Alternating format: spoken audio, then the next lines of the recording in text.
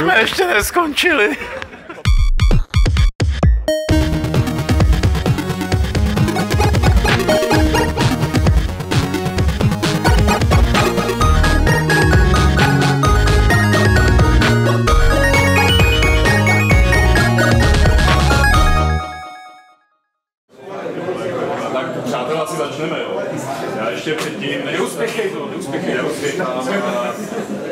Předtím, než to tady odpálíme jakoby naživo, tak eh, vám asi za nás za všechny poděkuju, že jste přišli, tak jako, že vás přišlo víc, než jsme to jako čekali.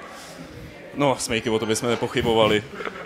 A ještě jako je nutný říct, že jsme hrozně vděční kinu Oko za to, že tady vůbec můžeme být a potom Petrovi Cíchovi, který vytvořil tenhle úžasný dort. Ono to na dálku nevypadá, ale je to fakt k jídlu. Až to jako všechno skončíme, tak eh, se myslím o to spravedlivě podělíme. Sešli jsme se tady my z redakce, Martin Ba, Čau. Petr Poláček, Nazdar. Lukáš Grigar samozřejmě. Čau. A já, a pak se tady sešli další lidi, kteří sem se budou tak trousit na ty pohovky. Eh, Od eh, Aleše Smutného, Ulrika, čau. Ono to není slyšet, když pozdravíte, ale, ale... Pak je tady, Mikrofon blíž, trochu. pak je tady Karel Drda, pak je tady Honza Volejník a Lukáš Macura. Ještě tam sedí za počítačem naším streamovacím Adam Homola.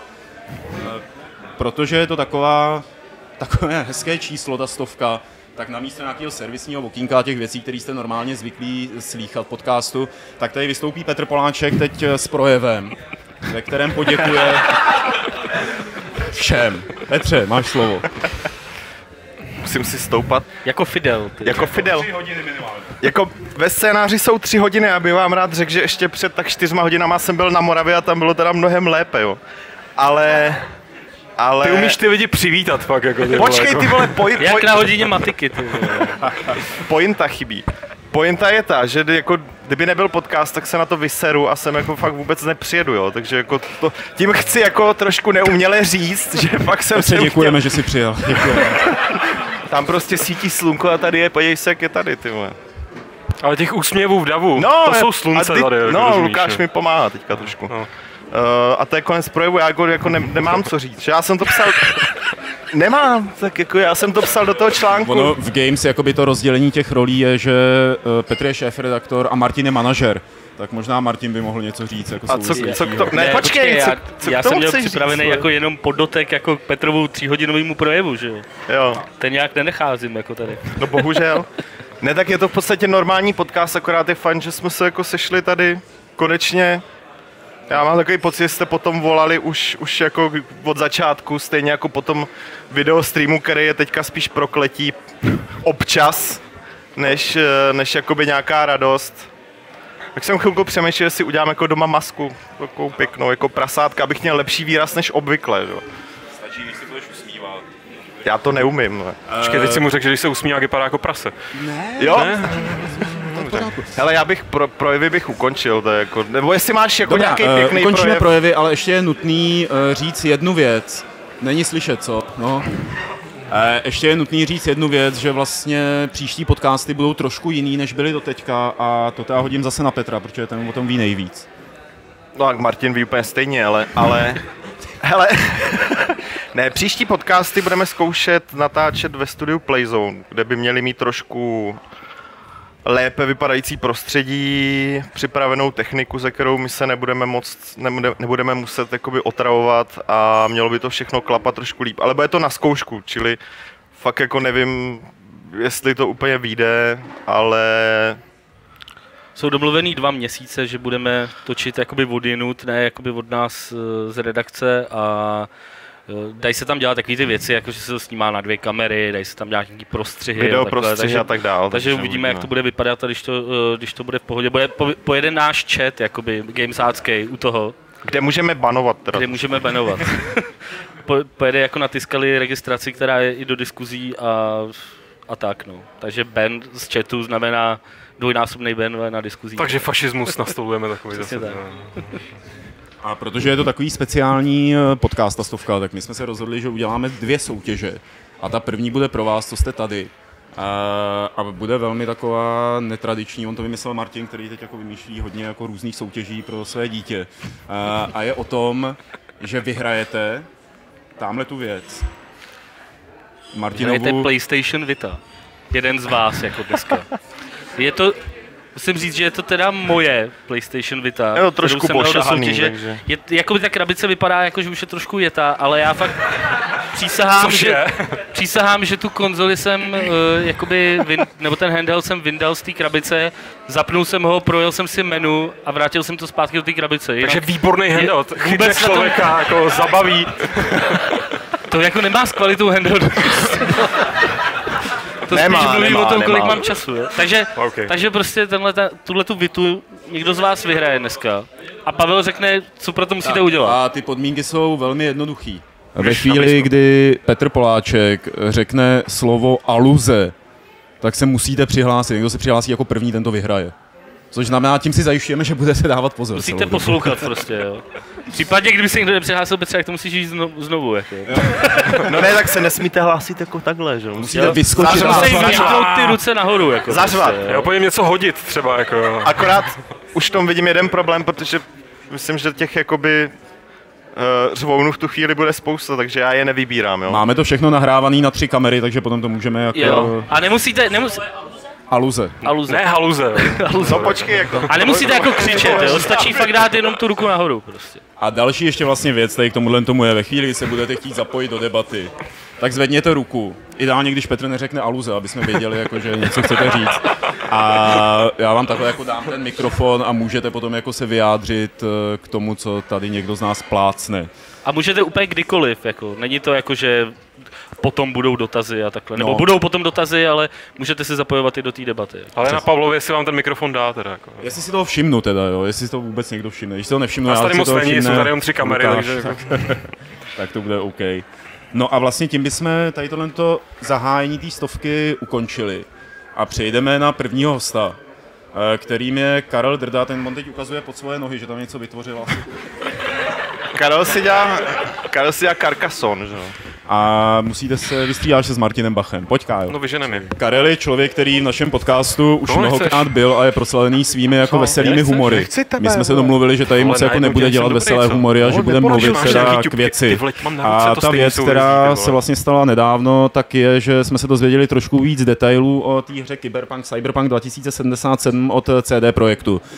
Trošku víc detailů, ne mnoho detailů. A když jsem se tak zamýšlel při dělání toho scénáře, kdo by o tom mohl povídat, kdo je takový jako odborník na ten Cyberpunk, tak samozřejmě Hele, mě na tom zaujala jedna věc, mám rád RPGčka, mám rád sci-fi. A v podstatě první věc, která tě zaujme, že to jsou lidi, kteří dělali Witchera. zaklínač, můžeme říkat zaklínač. Kvůli Polákům, kvůli Polákům případně v auditoriu, abych neurazil. Nicméně, nicméně tam je jako, jako desková hra, kterou asi nikdo v životě neviděl. Prostě, asi jenom nějaký ultrafandové, prostě divní lidi, kteří prostě z člověče nezlobce přeskočili prostě do vyšších- do vyšších levelů, prostě je to do dneska hraje deskový hry. Nicméně, jako když si přečteš, o čem jako ta desková hra je, prostě jako zdemastovaná budoucnost, prostě technologie, temný svět, a tak dále, a tak dále, tak jako jak jsou v tom náznaky něčeho, že by to nemusela být úplná sračka, že to téma prostě je zajímavý, tvůrce podílí se na týhle přímo ten, chlap, ten chlapík, který vypadá jak vyžraná verze Denzla Washingtona. Prostě. tak tenhle ten chlapík prostě se přímo na té podílet. A jako všechny ostatní věci pak už jsou dost kusí, že jo? Protože já jsem se, někde jsem se dočetl, že to bude poměrně otevřený svět s nelineárními questy, jinde jsem se dočetl, že to naopak bude velmi otevřený svět s lineárními questy, takže jako řešit v tuhle chvíli co v té hře bude nebo nebude, je dost na, ho, na, na nic. Snažím prostě. Snažím se, prostě jde mi to, ne? Ale ne, Jo, dobrý, dobrý. na nic prostě. Jo, ale jako tak jako všichni si od toho slibují, že by to mohlo být dobrý, až to někdy za 20 let vyjde, protože to dělají Poláci, že jo, zase, jo, co si tam říká. A Poláky jako nikdo rád nemá, no. Už prostě. Ano, na tom se Tady všichni už jsem to já prostě, ale Dobře, Karle, díky. Lukáši, ty Ale tak teď jsme se hlavně dozvěděli, že to bude mít ten podtitul 2077. Ano, to je jo. jako metro, že jo? To Ale taky, je, je, je to posunutý, no, protože Je to o ten, 50 let posunutý, Ano. protože pravděpodobně se jim tam neves, by nevešli ty pajduláci, co byli na té deskové hře, že jo? Tak to posunuli, aby ty pajduláky udělali jinak. Jo. jo, to je určitě ten důvod. Tam je zajímavý to, co jsme se bavili, to, co jsme se bavili, že, že vlastně jakoby to, to, to, období, ve kterém se odehrává ta vlastní hra, tak, je jako, tak ten svět je v nějakém totálním lapsusu, jako je na tom špatně, jo, a teď prostě oni, teď, teď prostě ty vývojáři jakoby to posunou o 50 let dopředu, takže teď je otázka, nakolik do toho vstoupí ten příběh té deskové hry, jestli to bude úplně něco jiného, nebo jestli Ani tam budou stejné lokace z té deskové hry, že jo? protože to oni několikrát zmiňovali, takže dá se, my nevíme teď nic o tom příběhu, nevíme nic o té hratelnosti, ale dá se vlastně dekodovat my vlastně nevíme vůbec my nic. nevíme vůbec nic, Ale jo, víme, investigativně víme. můžeme dekodovat Vy podle dva těch- možná nic nevíte, něco vím. Ty jako, něco víš. Můžeme dekodovat podle názvů lokací v té hře, co se tam bude dělat, nebo jak to bude vypadat, jo? protože to jsou lokace, které jsou převzatý z té deskovky a nějak dokonce existují knížky, které se jim věnují jako romány. Tam je, tam je, slibují nějaký velikánský město, takže asi Varšavu. A eh, prý budeš moc vylíst i ven, takže asi ty borovicový lesy kolem Varšavy. Prostě. Lukáši, ty říkáš, že víš něco víc eh, než eh, my, což není až tak těžký, takže No, to není, řekni. no, to je pravda. Jednak vím, že to město se jmenuje Night City, což je prostě teda nějaký Stop. s velkým N, protože tak se jmenuje eh, Přímo to město. Přímo to město v, t- v tom fiktivním vesmíru, který teda je dělaný pro tu deskovku. A je to, je to někde mezi teda LA a jako San Franciskem takový ten, eh, takový ten flag, kam Dokonce Petr eh, říká, že linkoval mapu v diskuzi, ale hlavně podle mě není ani tak důležitý, že jo, co to bude mít za příběh, nebo, nebo jestli se to bude lišit nějak eh, v těle těch detailech, ale všichni hrozně řeší, jak to adaptuje ty poměrně komplexní pravidla té deskové hry, protože to, je, to není deskovka, že jo, to je, to je dračák. Jako, jo. A, a vlastně v nějakém prvním blogu, který, který se tam eh, objevil na těch oficiálních stránkách, tak, tak tam řešili, nebo zmiňovali jako takový příklad, že prostě uh, ta původní hra má takový detaily typu, že tam je skill na, na, na, na jako módu nebo prostě na oblíkání, jako co, jak, jak jakoby fakt funguje, co si na sebe navlíkneš, nejenom jako, že to přidává plus něco, ale, ale prostě jestli sem si můžeš jít zrovna tohle a tohle, což jako uh, je super při dračáku, který, kde máš toho pána jeskyně, teda, pardon, v Cyberpunku to nevím, če, čeho je to pán, když je to Cyberpunk. Web, webmaster, to je, to je dobrý, to je dobrá, dobrý, dobrý termín. Tak, eh, tak eh, který ti spoustu těch věcí může jakoby vysvětlovat za pochodu nejenom jako ty pravidla, ale prostě vytváří se tam úplně jiná dynamika, než kterou ho používá hra, jako kde, kde jak uděláš tohohle nějaký herní mechanismus, jako nějak to třeba jde, ale podle mě musí řešit, řešit fakt jedno po druhém, eh, protože chtějí být hodně věrný, jako chtějí už tím, že tam mají toho velkého černocha, který s ním se pouště do křížku asi není úplně dobrý nápad, takže takže to, takže podle mě to, to bude to nejzajímavější, jako jak moc se to, jak moc to bude na jednu stranu věrný eh, těm To je mechanismům. nekorektní slovo, če- Afropolák. Afropolák, děkuju.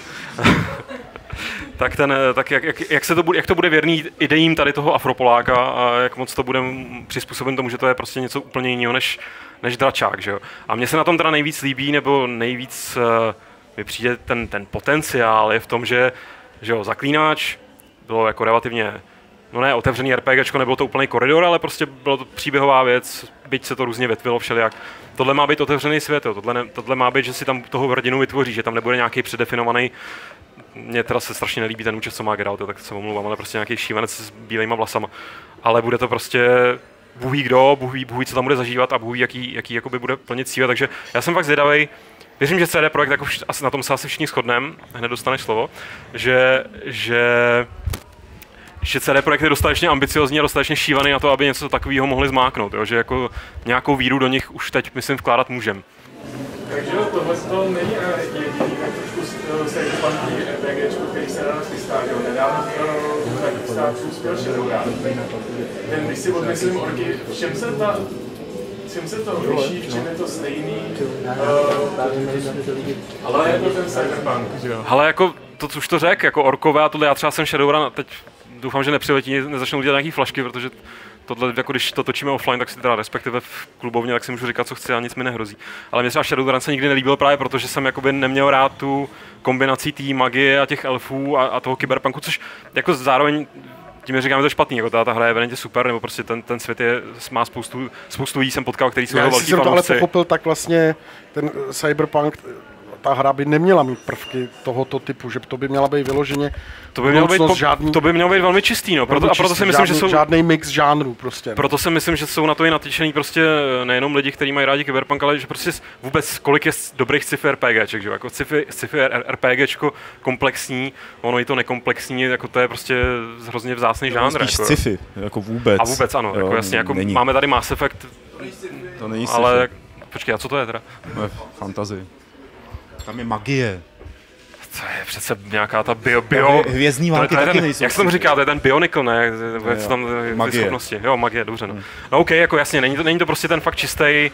Není to systém šok, jako jo, třeba prostě, nebo něco takového. No, teda v systém šoku jsou ty zase psy, psy, psy, psy.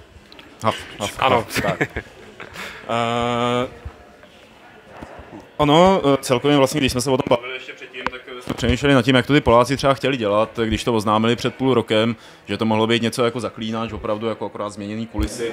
A teď po úspěchu Dishonored, nebo po té, co jako Dishonored ukázalo, že se to dá dělat i takhle, tak jsme si tady s Karlem říkali, že by bylo moc hezký, kdyby to udělali podobně, akorát v tom sci-fi prostředí. A já zase že nemáš No, dneska no. headset, jako no. No jo. A tak ještě z toho nejsou ani žádný obrázky, že jo, nic. No to je, my tady, Artworky, my no. tady vaříme z vody, protože máme něco, Ale jde nám to? na co se těší, že se, že jako něco, na co se Dám můžeme dílu, těšit, že to možná bude dobrý, je tam to pozitivum toho žánru, to pozitivum toho, že se pokouší někdo dělat jaksi věrnou předlohu podle předlohy. Na druhé straně je ten yin a yang, že jo? na druhé straně jsou ty Poláci, prostě maluchy, divný kozí síry, divný města, obecně divná země, prostě, kterou nemám rád. A prostě přiznat si vnitřně, že by Poláci udělali dobrou hru, třeba mě to u Zaklínače hrozně sralo a měl jsem ho rád a prostě to Polsko v tom, to Polsko v tom figuruje, no. Já je nemám rád prostě. Jako řek, myslí si o mě, co chceš, ale. Pardon, paralel s Dishonored, jo. Teď Dishonored má přece jako levely, uh, jako levely. A není to otevřený svět, to si myslím, že nemůže být podobný. No a to je přesně ono, co když teď zrovna tahle hra změní nějaký jejich pohled a promítnou, promítnou to do toho, že jo. Prostě. Takže myslíte, že můžeme čekat nějaké jako user-friendly eye, eye cyberlenci, něco v tom stylu třeba? Já jsem od Cyberpunku. Jestli můžeme čekat něco ve stylu user-friendly I Divine Cybermancy. Mhm. Ty jsi to hrál? Já to ještě i hraju dokonce, člověče. Eh, No.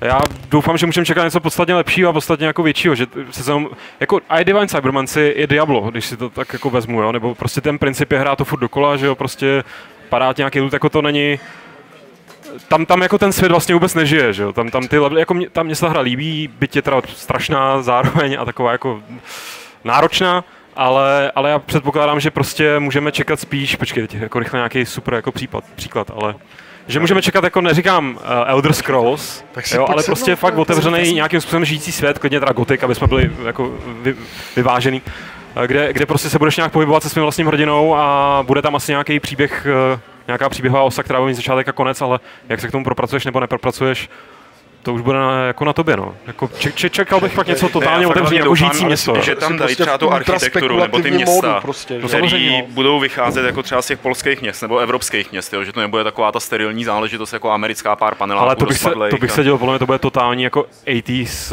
eh, To bude super. že, no ale nebude to evropský, jako bude to prostě, to bude Blade Runner říznutý jako takový ty Hmm. fakt jako kliše, což se svým způsobem bojím, že by mohlo být, ty, jako nebude to asi problém, protože prostě na tyhle kliše zrovna jako s- my slyšíme a ještě nebyly tak nadužívaný ve hrách, aby se člověku přejedli, ale snad taky bych byl radši, kdyby, ty, kdyby ta vize toho, té budoucnosti byla jako něco nového, jako když už po 50 někdo pak udělá Blade Runnera, tak to už taky jako není. Eh, Náš eh, Aleš Smutný se nám hlásí o slovo, Ulriku. Jo, já jsem jen chtěl říct, jako jestli zatím nevidíme moc vědu, jo, protože už tady bylo RPGčko, který bylo podle storního RPG, bylo nelineární, bylo dobrý, ty ho máš rád, Vampire the Masquerade Bloodlines. A to je ten A to je skvělý to příklad, který, ve který, ve který, jsem si chtěl, na jak, jaký bych si rád vzpomenul. A přesně tak ano, Bloodlines. Jako no. Jako, je to podle RPGčka, který já jsem hrál a je promakaný, ta hra je dobrá, je to nelineární, relativně, zároveň s, tím to je se, s tím sedmým fanouškovským pečem už je to fakt vyladěný. Jako. Ano, už tomu jde dohrát, jako, jo, takže jako jestli nečekáme pří, příchod Mesiáše nebo něčeho, co jsme ještě neviděli. Ne, to je no, takový ten Pavlovův reflex, prostě kyberpunk, vývojáři, který mají jako velmi dobrou pověst a zároveň jsou to dost, dost jako blázni na to, aby, aby, aby zkusili ty ambice nastřelit někam jako Jako pro, protože by ta hra nemusela být špatná, hra je to, kdo to dělá. A to, že si vzali původního tvůrce prostě do týmu, který tam má, jsem pochopil, výrazný poradní hlas. Šikanózní. On má hodně hluboký hlas, No. hodně výrazný. Tak. Eh, Karle, děkujeme, že jsi tady s náma o tom popovídal. Eh, Lidi ti určitě taky poděkují, ten potlesk tam doděláme, jak jsme se domluvili. Tak já budu. Uh. A zmiňovali jsme tady několikrát Dishonored, eh, teď jsme se bavili o Cyberpunku, což je hra, kterou Lukáš, Aleš a já už máme za sebou a máme ji hodně rádi. Hrál to někdo z vás už? Ty bláho. No, je krásný. Dishonored, přesně tak. Ty jsi hrála Dishonored, jo? Takže. A pojďme si dál popovídat o Dishonored, protože to je jedna z těch velkých her, která teď vyšla a asi na ní jen tak nezapomeneme. Uh, Aleši, co ty myslíš, že se jim povedlo v té hře udělat uh, vzhledem k ostatním hrám, které vycházejí? No, tu maximální možnost pohybu po těch misích a řešení té situace, protože já si nepamatuju, kdy jsem musel takhle přemýšlet, v případě, že jsem tu hru chtěl hrát tak, jak jsem hrál. Jau! Jau, co mě třískáš, vole! Lepší. Počkej, já se ještě Teď jsi mi přetrh myšlení, co jsem říkal. Hele, řeš si Poláky.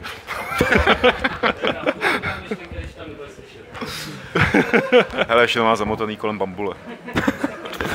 Ne, ne, ne, ne, ne, ne, ne. Vy v Plzni ještě faxujete, co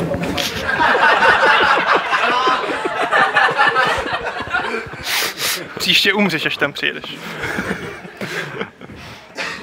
O čem, že jsme mluvili? Uh, Jo, řešení myší, myslím. Svobodný. No, jde o to, že tam máš vlastně několik, to je teď debilní ty sluchátka, Je, no. několik možností, jak vyřešit ty dané situace a nemáš tam danou jednu cestičku, dvě cestičky. Nemáš to, co máš v Deus Ex 3, prostě, že tak, buď to tady vyvraždím, nebo tady si najdu, co to bylo, ventilační poklopy. Jo, to, na to si to tu nehraje. Prostě máš určitě tady daný svět a tam si poskakuješ jak chceš a řeš si to jak chceš. Hmm. Což mně přijde poměrně, nechci říct revoluční, ale určitě evoluční. Ty jsi v té recenzi Dishonored eh, dal devítku. No, Mě to hrozně překvapilo, jo, protože jsem si říkal, když má nějaká hra dostat desítku za to, jak je progresivní, nebo za to, jako co dělá jinak, než jak jsem zvyklý, Hmm. tak jako to musí být ten Dishonored. E, z jakého důvodu jako ses nakonec uchýlil k tomu nižšímu to číslu? jsem řešil dlouho, jestli tomu dám desítku. No nakonec kvůli tomu, že mě štval samotný hlavní hrdina, nebo neštval, jako já jsem se do něj nevžil. Což je problém, když máš vystavěnou hru na tom, že máš cestu za pomstou a mě to nechávalo dost chladným. Mm-hmm. Nevěřil jsem mu jako, teď ho vysvobodíme z vězení a on teď bude prostě poslouchat tady, já nechci spoilerovat, jo, ale prostě ještě k tomu nemluví, což není podle mě dobré řešení jakýkoliv příběhové hry. Mm-hmm. Takže prostě mě mnohem víc bavilo řešení těch misí, než samotný příběh. Tady tohle tom se třeba my dva docela shodneme, ale když jsem se o tom bavil s Lukášem, tak ten na příběh měl trochu jiný názor. A ty, to by se líbil, že jo? Ty jsi No jasně. Mě, já se přiznám, že vlastně jsem si uvědomil, protože Dishonored teoreticky měla být taková hra přesně teda pro mě, že jo? protože to navazuje na ten odkaz Looking Glass, který prostě propaguju kam, kam přijdu. Je to inspirovaný tím Thiefem a tak, a tak dále a tak dále, ale já jsem si já jsem o tom hodně přemýšlel, teď jak jsem dělal tu video recenzi, co měla být v pondělí a vyjde dneska možná, nebo, nebo nevím, jak až to Petr No. vydá. ale, ale že mě vlastně, mě na tom, mně přijde krásný ten svět, který oni vyrobili, ať už tím, jak vypadá, tím, jak zní, a tím, jaký tam jsou v něm postavy a co dělají a co si myslí a co si nemyslí. A ta hra jako je super, jak se hraje, to, jak je tam ta svoboda, tohle, ale vlastně já jsem si uvědomil, to, to v čem se od toho týfa hrozně liší, je fakt to, že je tam ta možnost toho boje, což je úplně jako v pořádku, to jako není chyba té hry, že není tak jako týf, ale prostě, že pro mě ten zážitek v té když se, když se spustil do boje, tak, tak si většinou jako si říkal o průšvih a musel se fakt snažit, uh, jako, jako bylo, byla to nějakým způsobem výzva hrát to tím jedním stylem. Tady si fakt můžeš vybrat skoro jakýkoliv styl, je to zábavný, je to, je to hrozně dobře, jako, je to strašně čistý, jako ten design, design je úplně neuvěřitelný, jak tam všechno funguje.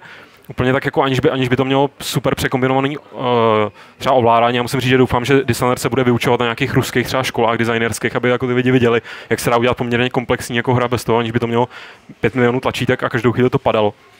Ale, ale nějak, nějak, byť jsem to hrál na tu vyšší obtížnost, eh, tak, eh, tak nějak mi tam vlastně chybělo chybělo to, to napětí z těch samo, v tom samotném průběhu té mise. A možná o to více mi, nebo o to víc jsem se nějak automaticky pak soustředil na ten příběh a na to, jak se to celý vyvine.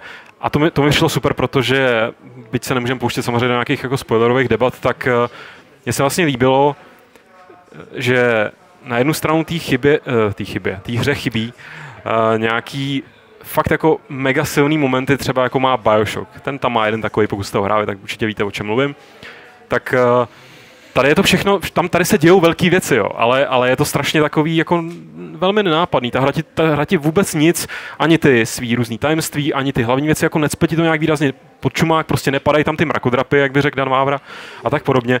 A mně se to hrozně líbilo, protože na tom konci, kde se stane to, co se tam stane, respektive stane se tam to, co vy se rozhodnete, že uděláte, tak jako je, je tak elegantní tím, jak je to, jak je to, jak je to jemný a ta, ta hra je velmi taková jako v podstatě útlocitná, byť je to hra se zabijákem, ve kterém můžeš teda zabíjet, tak chceš a nebo nechceš. A to mě iritovalo ten konec, protože to bylo, hele, na začátku jsem si řekl... Takže teď se budeme bavit o konci, jo, když se to nahrál, tak nemus, nebudete mít důvod to hrát. Říká, tohle bude takhle, tohle bude takhle a na konci, hm, fakt, hm, tak dík, to jste mi řekli. A na druhou stranu, jak si říkal, že se ti líbí ten vystavený svět, to mě na tom hrozně bavilo. Líst prostě do těch vedlejších misí, číst ty texty.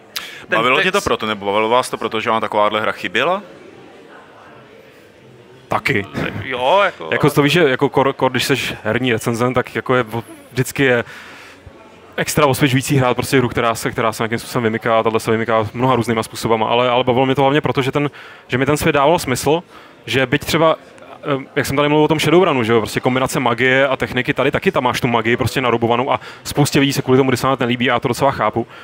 A byl jsem k tomu takovej chladnější, tak jak pak v té praxi, jak to tam bylo zapracované, tak to se mi líbilo a a chtěl jsem říct ještě něco hrozně moudrého, jak jsem se podíval na ty tvoje krásné oči, tak mi to vypadlo, člověče, ale ale když tak mi do toho skoč, jestli, jestli můžeš. No já jsem zatím tak souhlasím, tak jako ti nemám moc do skákat. Ne, chci říct, chci říct takhle, prostě pro mě to, co cítím z těch uh, předchozích her z Looking Last, uh, a k, k, co se objevuje i v Bioshocku a teďka v Dishonored, tak je určitá Uh, možná je to hloupý slovo, ale prostě poetika. Jo? Prostě tam je vidět, že ty, ty lidi, co to dělají, tak jedou evidentně nějaký podobný vlně, nějaký jeden můj vkus. Jo?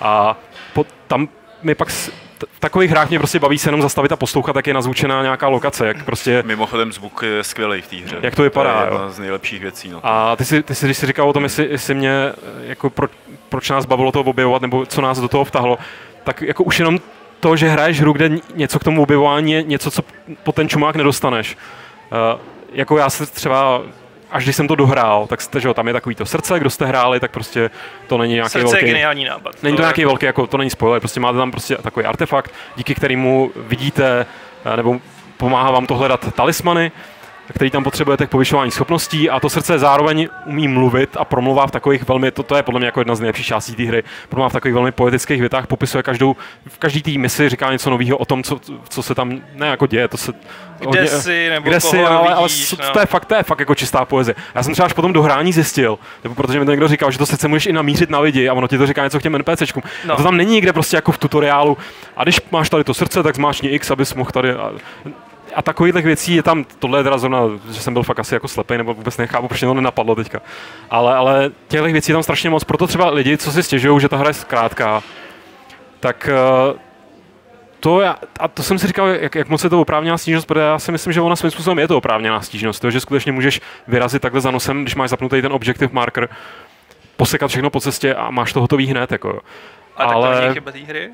To je možnost. Jako... Je to možnost, no. A je, já nevím, jestli není chyba té hry, že potom je ta hra nejenom fakt jako od tři čtvrtě kratší. A není to jedno, no, jak si každý no. udělá. Hele, mě to připomíná jednoho člověka, co si stěžoval v diskuzi, že je tam možnost furt saveovat. Že by bylo mnohem lepší, kdyby saveoval třeba jenom na začátku a na konci mise. A co mu v tom brání, jako jo? Ne, jasně, no. na každém člověku, jak se to zahraje. Jasně, že můžeš jít kudlu a začít tam rubat všechno a bude to nejlehčí podle mě průchod. Ale tak jako někoho to baví a a prostě to, jaký si to uděláš. Black Hand eh, by chtěl něco dodat. Eh, je to opravdu, uh, opravdu možnost, no jasně, je to opravdu možnost, protože pokud ta hra po vybrání té možnosti není v uvozovkách tak dobrá, nebo, nebo tak dobrá, to je špatný výraz, že je krátká, že prostě z toho není uh, nijak zvlášť silný zážitek, tak je to opravdu možnost? Není to spíš jenom takový, na tuhle tu možnost se vykašleme a budeme realizovat jenom tyhle ty možnosti a když si prostě ty, tyhle ty možnosti, které uh, na linku dopředu nevybere člověk, tak uh, To mi právě přijde jako, že trochu platný, no, že přesně, že, že prostě podle mě ve chvíli, kdy to hraješ teda jako stealth totálně a všechno projíždíš, nebo ne, ne, nemusíš projíždět všechno, ale prostě fakt jedeš pomalejš a opatrně, tak, tak teda máš nějaký zážitek a ten, a ten opačný zážitek, právě, když teda jedeš jako akčně, tak jako trvá o, o, prostě 6 hodin méně, jako že to, že to je prostě divný svým způsobem, jo? že prostě, a po, já to nedokážu přesně popsat, ale mě to trošku souvisí, Že to prostě Smejky, ten povídej. rychlej, rychlej akční průběh nikdo pořádně nenadizajnoval. Tak, aby si ho mohl užít. jako ten samotný boj je nadizajnovaný super, prostě že jo? vyprdnul, jako chápu to dobře. Já nevím, Ne, já, ne, já jsem, já jsem to tak nehrál, jo, takže... Ne, jako mně nepřijde, že by se na to někdo vyprdnul, tak můžeš jako, ona to nebude úplně jednoduchá hra, jo. Bude to jednodušší než ten stealth, ale je to podle mě legitimní, je to mnohem lepší, než aby prostě udělali tak a když když na někoho naběhneš, tak on tě hned zabije. Protože my chceme, aby si se steltoval a nechceme, aby ti to trvalo krátkou dobu. My chceme, aby tahle hra byla dlouhá, takže ti hodíme tolik a tolik překážek. A to mně přijde blbý, jo. Tohle je mnohem svobodnější a dává to odpovědnost do ruky tomu hráči. Tak, a k tomu jsem se jako to, chtěl to něco přidat, co jsi řekl. Že to je hra, která ty hráče nutí objevovat ve všech směrech, což ty hry, jako na to nejsme moc zvyklí, že jo? ty hry nám to moc Hmm. až tak neumožňují. Zatímco tady jako je hromada nástrojů, zkombinuj si to jak chceš, podívej se, co to udělá, jak to udělá a ono to funguje. Z 99% to funguje, že jo? jsou tam jako věci, které nefungují. Ale ta hra není o tom, aby někdo proběhl rychle. Se, protože to i No. sám si potom musí uvědomit, sakra, jako uniká mi tolik možností, uniká mi ten gameplay. A ono je to jako ve skutečnosti je to, že jo, hrozně hardcore, teda, eh, nebo spíš rizikový od těch vývojářů, vložit důvěru v toho hráče. Že ten hráč to bude teda skutečně že to pochopí, že se to bude užívat tímhle způsobem, tím kombinovačním, kombinačním, tím, že to bude nějak objevovat, že bude zkoušet tohle nebo tamhle to. Jo, a to je to je Ne. pro, pro, mě to znamená hodně. Jasně, já jenom, když bych to asi sro- zkusil přirovnat k Deus Exu prvnímu, což byla přesně případ hry, kterou můžeš teda hrát jako FPS, byť teda takový hodně rozrkaný, anebo teda stealth, tak tam, tam, tam se ty, eh, ten obsah jako se tak zase nelišil, že tam to prostě bylo vyřešeno nějakým způsobem jinak, ale je zase vlastně pravda, že když teda někdo řekne, OK, tak já jsem Dishonored proběh a trvalo mi to 5-6 hodin a jsem říkal, no tak takový Call of Duty, ne? Jako, co, kde je problém? Jako, tak, takhle ty hry dneska trvají jako střívačky. Jo. A pořád je to prostě mnohem uh, podle mě zajímavější střívačka nebo, nebo mlátička nebo sekačka nebo jak to nazvat, než, než prostě třeba, třeba to Call of Duty, ale tak to už je otázka vkusu samozřejmě. Já jenom uh, právě k tomu jako Terminátor stylu, jo, když to tak jako parafrázuju. Uh, je to opravdu jako možný to tak projít. Já jsem to tak neprocházel a občas, když se dostanu do souboje, jakože jsem teď abych nekecal ve třetím levelu, tak uh, mně to přijde dost těžký to jako umlátit. Já si nedokážu představit, že bych to proběh eh, těma strážema a věžema a všechním těma překážkama, co tam jsou a dokázal to urubat. Jestli to opravdu není jako znevýhodněná možnost. Jakože furt možnost, ale jako mínusová v uvozovkách. Je náročnější, ale ta cesta k tomu, aby se to dalo hrát akčně, tam je skrz ty speciální schopnosti, že který si člověk může jakoby aktivovat eh, a je to, je to úplně jiný než ten stealth v tom, že musí, musíš, musí ten hráč být svižnější, mnohem rychleji přemýšlet, hejbat se. Jo, a to je vlastně další z věcí, která se mi na tom líbí, ať už jde o akci, anebo o ten stealth, že vlastně cokoliv tam člověk udělá, nějakou jako, že se teleportuje za stráž, otočí se, že jo, uškrtí, nebo já nevím, něco takového, tak eh, to jestli se to povede nebo ne, tak to není závislý na nějaký předskriptovaný animaci, jo. Eh, Třeba jako u Deus Exu bylo takový to přímo do krytu, ne? Tam to bylo, nebo se přebíhalo mezi krytama takhle, jako by z jednoho místa do druhého, ale tady ne, tady je to všechno na tom hráčovi, jestli ho stihne, jestli ho trefí, jo, že tam není, není tam žádná berlička. Ale mě ještě jenom k tomu teda uh, Ram, Rambo nebo Terminátorskému stylu, uh, já, si, Paper, já jsem to spíš vlastně myslel nejenom teda, že běžíš a kosíš, ale že hlavně tam ty cíle těch misí, jako úplně typický příklad, opět teda bez nějakého megaspoileru a prostě takový to, taková ta šablona je, máš cíl, který máš zabít, jsi zabiják, ale samozřejmě jsou možnosti, jak, jak to vyřešit, uh, dost, dobrat se k tomu, k tomu, aniž bys vlastně ten cíl musel zemřít. Jako, a ty jsou složitější, vyžadují různý prostě postranní třeba úkoly a tak. Ale že fakt můžeš teda naběhnout, vlítnout tam třeba na tu party, zjistit teda, koho máš zabít, kuchnout a nazdar, jako vůbec se nezdržovat s těma, s těma okolníma věcma, tím pádem tam v tu chvíli přijdeš o ten, ten lidský rozměr v podstatě, protože se nepotřebuješ najednou bavit s nikým, nepotřebuješ nic řešit, nepotřebuješ se dívat eh, do knížek a do nějakých zápisků a tak, no. A to je špatně? Já nevím. Ale je to jiný. Ne, však mně Je to to jiný, trochu no. přijde, že se občas máme tendenci na to vymlouvat, jako. Ale ono mi to neřeklo, že můžu jít tamhle a je tam quest. A ono mi to neřeklo, že když najdu tamhle toho, tak ho budu moc jako zlikvidovat nenásilně. Že už jsme si tak strašně navykli, že a teď jdi tamhle, ukážeme ti to tady šipčičkou, ještě ti tamhle svítí neon a tam jdi a tam bude vedlejší Ale tak já, hele, jako já za sebe, já jsem tam nikoho nezabil v té hře od začátku do konce eh, z těch hlavních cílů, takže já tady se snažím tak jako dělat Jo, jo. advokáta těm hráčům, kterým vlastně já sám nerozumím, jako jo. To já jsem je zabíjel, mě to šlo. Já jsem čel, chat byl hrozně milosrdný, až mě to překvapilo. Až mě to překvapilo. No, máme tady, ano. Tak zdravím teda ještě mámu a tátu do chatu a Warcraft 71.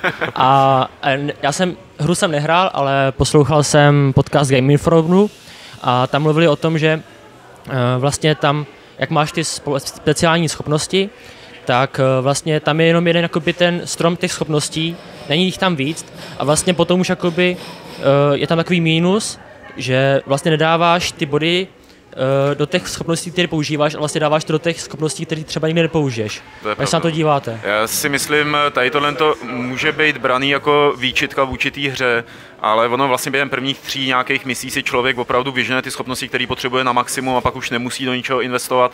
eh, Právě kvůli tomu, aby se učil ty schopnosti používat a kombinovat zároveň. Jo? Že, eh, Může to být plus i mínus pro někoho, ale, ale spíš s tím nesouhlasím, jako že by to byla mínusovka. Je fakt, že já jsem to dotáhl, když jsem to dojel do konce, tak tam jsou nějaký runy, kterými se to posiluje, jako ty vlastnosti, tak jsem měl asi 11 run, který jsem mohl do něčeho investovat, ale neměl jsem důvod. Jo. A to, je, to podle mě je chyba. Jako to myslím, že jedna věc, který bych té hře vytknul jako normálně se vším všudy, že podle mě tohle není vybalancovaný úplně dobře. Jo? Že na tu nejvyšší obtížnost, já jsem hrál na hard, je tam ještě nějaká ta very hard, nebo jak se to jmenuje, a tam asi uh, No, do tohohle to vlastně tolik promlouvat jakoby nebude, jo. ale podle mě by té hře prospělo, kdyby se byl nucený specializovat, protože já fakt jakoby poslední tři mise už jsem měl odemčený v podstatě všechno, i to, co jsem nepoužíval, a třeba takový to zastavení času, když máš prostě na té druhé úrovni, tak to je tak jako silná, prostě to je, to je Deus Ex Machina svým způsobem, to prostě zapneš a dokážeš cokoliv, ať, ať už stealth nebo, nebo zabíjet.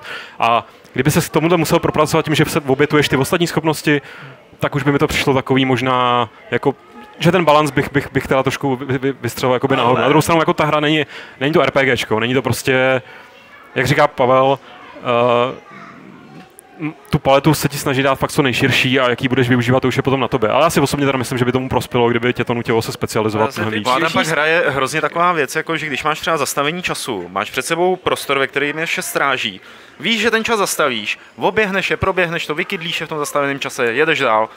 Ale proč bys to dělal? To by nebyla taková zábava, jo? To je jako najednou tam funguje tam nějaký trošku jiný uvažování. Ale proč tam ta pak ta schopnost je? To, to se jakoby canceluje prostě navzájem najednou jakoby jedna feature s tím, že ty ji teda nepoužiješ, protože by to nebyla zábava. použiješ třeba někdy jindy. Použiješ jindy, to jsem Jo, právě to- chtěl to říct. mi přijde, ale to je o tom, když se budeš moc specializovat, tak nebudeš mít všechno. A od začátku je to designovaný na to, aby si si prostě s tím hrál a dělal si, co chtěl.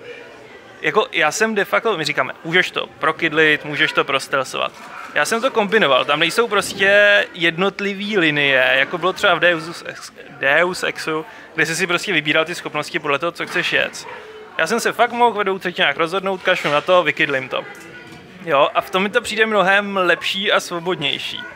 Tím, že mě strašně rozpiluje, když to- Eh, svobodnější tím, že prostě si s tím můžeš vyhrávat a je to jen na tobě. A opět je to zase u té hráčské zodpovědnosti, jako co chceš kdy používat. Oni ti dají volné ruce a dělej si, co chceš. Mně prostě přijde, že hra, ve který na jejím konci máš 11 talismanů, který nemáš do čeho dát, je- není, špat, eh, není dobře, jako na, nemá ten systém dobře navržený. Upřímně jako. A chyběli ti, přebývali ti. Přebejvali. A to je špatně? Myslím si, že to je špatně. A Ne? proč? Protože k čemu, k čemu tam jsou jako potom? Tak, tak nemusíš do rozbírat. Proč, když už je to právě immersive. No, protože, protože prostě jsem chtěl věc, ten obsah té hry, ale protože to nemám využít. No nemám takže k si čemu viděl ten svět, ale nepotřebuješ ty runy. Já bych je rád na- do něčeho dal. Takže je to jenom Kdyby se to- za ní šlo třeba koupit to DLCčko. Discuss. Uh, Aleši, ty jsi v recenzi říkal... A, ah, pardon. No, Lukáš, já si rejpnu, tvoje oblíbený Just Cause 2, tam můžeš dělat cokoliv, jako. Ale Just Cause je komiksová absurdita, jako bláznivá, ne, ne relativně jako seriózní. A vidíš, že... že A tohle že- není sandbox, to- tohle je prostě příběhová věc, že? Ale máš svobodu pohybu, máš tam svobodu, máš tam spoustu skillů, kdy jsi v podstatě bůh, ale jen, si jenom vybereš, jestli chceš být nebo nechceš být. No jasně, ale Just Cause jako, jako to je úplně jiný, to je prostě Bčkový akční film a ne relativně takovej me- melancholická prostě tady nějaká eh, záležitost se skvělým příběhem, jo. Just Cause je prostě takový Gerismod v podstatě, bych to přirovnal jako k něčemu. Ty diskriminuješ Just Cause. Ne, ne, nediskriminuji Just Cause je boží dvojka, jako. To je super hra, ale to je prostě úplně něco jiného, že jo, jako. Aleši, ty jsi eh, v recenzi psal, že by si chtěl, aby to mělo, mělo pokračování. Jo. Tady Lukáš zase říkal, ne. ne? Discuss. Ať to klidně má pokračování, který se nebude jmenovat Dishonored 2, bude to z jiného toho ostrova, bude tam použít ten svět a třeba je to ta grafika, ale jako... Já plně toužím potom, aby tam byl jiný ostrov nebo prostě z toho samého světa. Ať tam ani třeba nejsou velryby. Ať tam... Ne, velryby ať tam jsou, velryby jsou dobrý. tam, jo. Whale punk, dobře. Nicméně... Jde o Já bych chtěl hrát za velrybu, já bych chtěl, aby to byl simulátor námořní, kde hraješ za velrybu. A můžeš potopit lodě a oni ti budou harpunovat. Ale Karolek, by se mu to líbilo, taková hra, hrát za velrybu, do toho by ses prostě...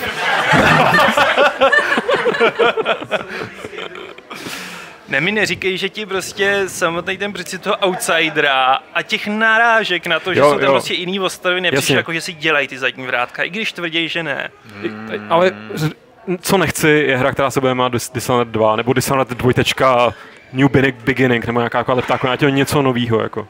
Tak je Ať fakt, se to jmenuje třeba uh, Výprava na Serkonos, nebo ne, jak se jmenuje ten ostrov, jak se ho snaží tak, kolonizovat. TV, podle mě tady byl ještě ten třetí, a to je jedno. Prostě tam jsou zmínky, že jo, se, to se No. dočtete jenom, jenom v těch knížkách, že, že prostě ex- je, existuje nějaký jeden ten velký kontinent, ne ostrov, teda kontinent, kam jako oni posílají nějaký výpravy, který se prostě nevracejí a všichni tam šílejí a když se někdo náhodou teda vrátí, tak jsou to tako blázni a pak je to, tam potkáte jednu postavu, která to má za sebou.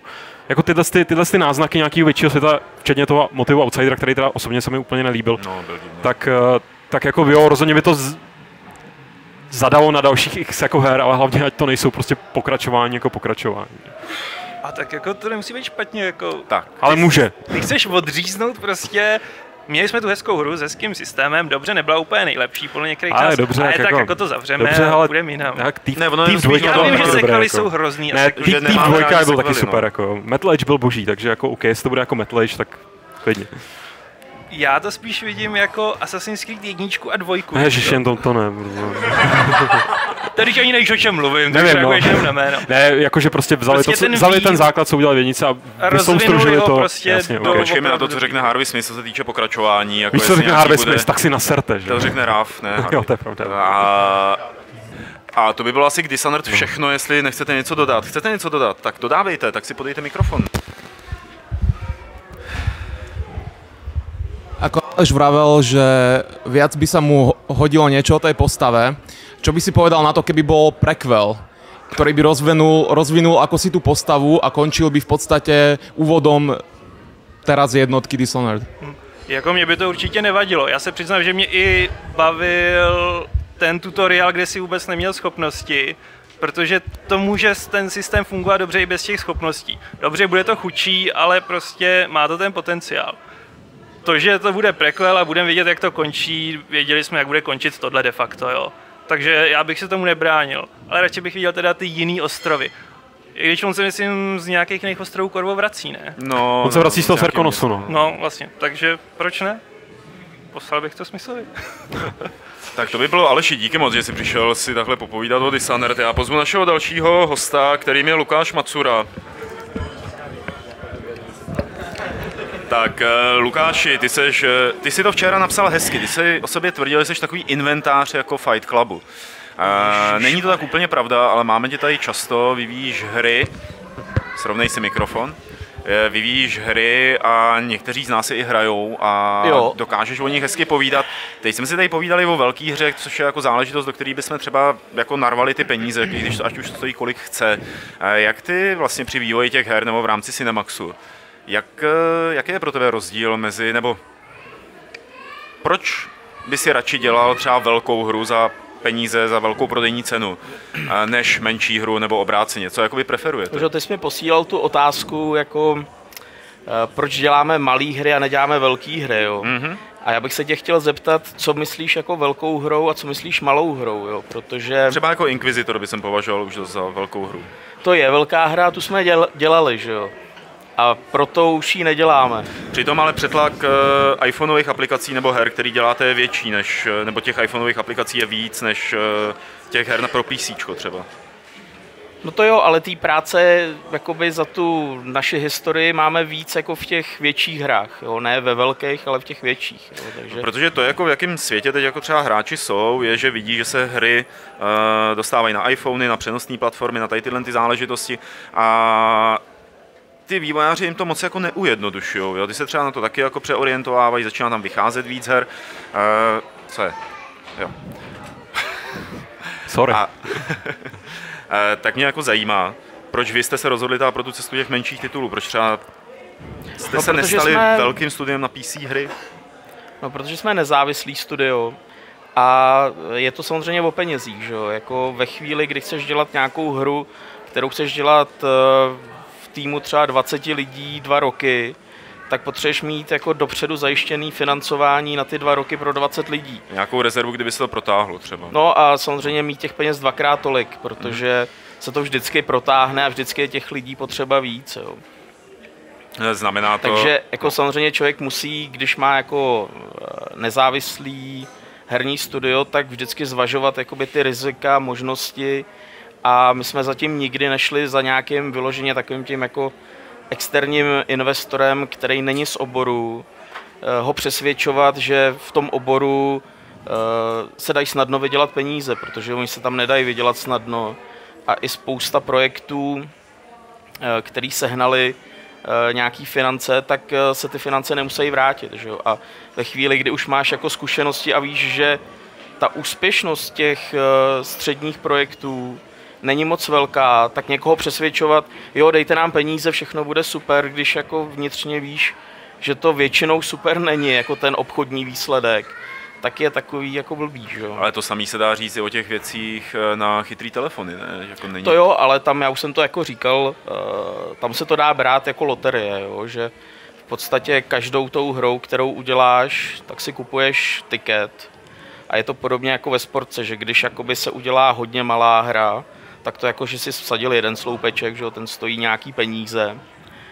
A když děláš jako středně velkou hru na iPhone, tak prostě si dal jako, že jo, víc kombinací, takže máš jako větší šanci na tu výhru, ale můžeš vyhrát i s tím jako úplně základním jako eh, losem, ale je to jako mnohem těžší, že jo? takže eh, tam eh, prostě ty vývojáři, který vyvíjejí jako opakovaně, tak, eh, tak to dělají prostě, že čekají, až si té hry třeba někdo všimne, nebo až jako se trefějí úplně jako přesně. No. Když se podívám třeba na hru, jako je Decathlon eh, na iPhoneu, anebo na Hmm. ty ostatní hry, eh, tak si říkám, ty to je prostě malý, má to nějakou retrografiku, to muselo trvat ten vývoj třeba jako měsíc, jo? To, to muselo být hned hotový. Jak dlouho třeba tak jako u vás v průměru trvá vývoj takovýhle vlastně na první pohled malý hry? No tak třeba u toho Decathlonu, tam jsme se rozhodli na začátku roku, jsme si říkali, jako bude v létě olympiáda, to bychom mohli stihnout. A šli jsme do toho, že uděláme primárně DSIčkovou hru, prostě DSiWareovou hru. A tam, tam jsou, eh, tam jsou jakoby strašně komplikované ty schvalovací procesy, eh, že Nintendo musí jako technicky schválit tu hru, musí si tam udělat věkový ratingy a takové věci, tak jsme takhle jako odpočítávali od toho ideálního releaseu, kolik máme času a zjistili jsme, že máme asi nějakých 12 týdnů. A tak jsme si říkali, je tam 10 disciplín, tak budeme mít na jednu disciplínu týden a máme jako dva týdny k dobru.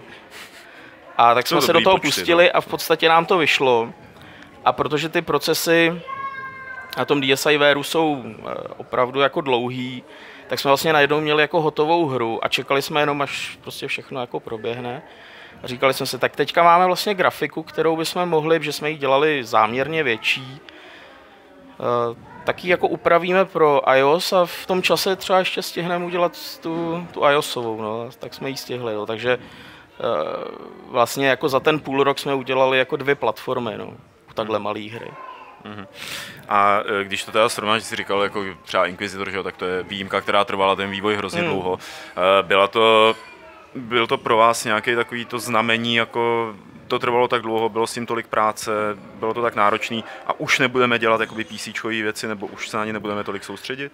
A tak to úplně ne, že jo, tak my jsme toho Inquisitora, to byl opravdu, to za náma přišel tým v době, kdy jsme úplně začínali a neměli jsme žádné zkušenosti, že jo, my jsme během toho, co se jako dělal Inquisitor, Uh, tak jsme třeba udělali jako komplet Numena, že jo, jako jiný RPGčko, který se samozřejmě taky plánovalo na nějakou dobu a taky jsme ho dělali dvakrát díl, nebo já nevím už kolikrát díl, to už je jedno. A tam si právě člověk uvědomí, že eh, ve chvíli, kdy potom ten rozpočet není ideální, jako z hlediska toho objemu, eh, tak, eh, tak musíš jako hledat, kde ušetřit, aby se to prostě za ten rozpočet dalo udělat. Že třeba vyřízneš netopíry nějaký, aby... No, proto třeba v Numenu nejsou netopíři, že tam už na ně nezbyly ty finance. Ale proto to dostalo jenom... Ale zároveň, dostalo, zároveň pokud jakoby neděláš tu hru jako na zakázku vyloženě, že ti někdo dá peníze, řekne chci hru, aby to bylo podobný uh, RPGčku, udělejte to za rok, uh, tak, tak tu hru chceš udělat jako co nejlíp. Znamená, že tam pak jako narážíš, jako, že jako ti ty peníze jako furt docházejí a ty si říkáš, no ale ještě kdybychom do tady toho dali týden práce, tak uděláme něco jako super. Ty si řekneš, jo, a tak týden ještě jako jo a pak ten týden přeroste na měsíc, na dva měsíce a ty si řekneš, no tak, ale teď se nám jako za dva dny by tam šlo předělat tohle a takhle to jako salámovou metodou jako bobtná a pak zjistíš, že ten rozpočet jako je dvakrát větší, že jo, hmm. což hmm. už jako není moc dobrý, no. Tak tu Blanka, člověče, svým způsobem. No akorát, že nás jako nefinancuje jako město a stát, no, to je jako... Vy teď máte poměrně uh, velkou šanci dostat se na Steam, že jo, přes Greenlight. Jak to pokračuje zatím? No, pokračuje to tak, že pořád nic nevíme, takže jako uh, aktuálně, že je Inquisitor někde v Greenlightu jako kolem 20. místa, takže teoreticky, pokud by za měsíc eh, se ve Valve rozhodli, že udělají Greenlight dalších 20 her, tak dostaneme zelenou, ale prostě u, u, u Valve teďka jako nikdo neví, no, co vlastně... Takže jste to chtěli pošťouchnout tím, že jste tam dali tu dvojku? Ne, to jako takhle, jo, ta dvojka, nebo dvojka je hotová. Mhm, jasně. to je takový malý oznámení tady jo, jako při okay. stovce. A nemáš na nějaký Karlštejn ještě? ne, ne, ne, ale uh, dvojku si budete moc všichni... Co jste tady? Co jste tady a i prostě, co tady nejste tak dvojku českou si budete moct a teďka změna ne zahrát, ale už jenom opravdu přečíst ještě letos. Protože dvojka je... Takže on to myslí vážně? Já to myslím smrtelně vážně. Aha, já myslím, že to je nějaký sofistikovaný vtip. Ne, ne, ne. Je? Eh, dvojka je hotová jako román, eh, který vyjde prostě ještě letos. Eh, odehrává se 200 let po konci jedničky. Kolik a... je to svazků, ten román? Vlastně teďka probíhá sazba, vyjde to zřejmě jako e-book jenom a Uh, má to nějakých jako 600 stran, takových těch jako... No. Takový Umberto jako trošku nafouklejší, no. No ve světě Inquisitora je to taková krátká povídka. No, jako tak no, no, taková kratší, no. A uh, samozřejmě jakoby... Prosím tě, to udělali, ten... promiň, že ti oskočím, no. to udělali ty samý lidi, kteří psali ta příběh pro jedničku, nebo to je někdo úplně no, jiný? Jo, to, to samozřejmě má ten scénář, eh, scénář a tu a ten román to má na starosti Johanu Justoň, na, na svědomí, spíš než na, na starosti, eh, který, který mu bylo jasný, že přemlouvat jako znova jakoby nějaký tým, aby udělal jako pokračování, že to tak prostě si po dokončení jedničky jako napsal, napsal tu dvojku a rovnou jí psal teda jako román, protože se nevěřil, že by mohla jako dvojka vzniknout. Už to čet? Jo, čet jsem to, no. Tak... Jsou tam netopíři. netopíři hlavní hrdina netopír. netopíři. Člověče, já myslím, že tam netopíři nejsou, no. Ono těch 200 let je jako... Evoluce proběhla, jo. Dlouhá doba.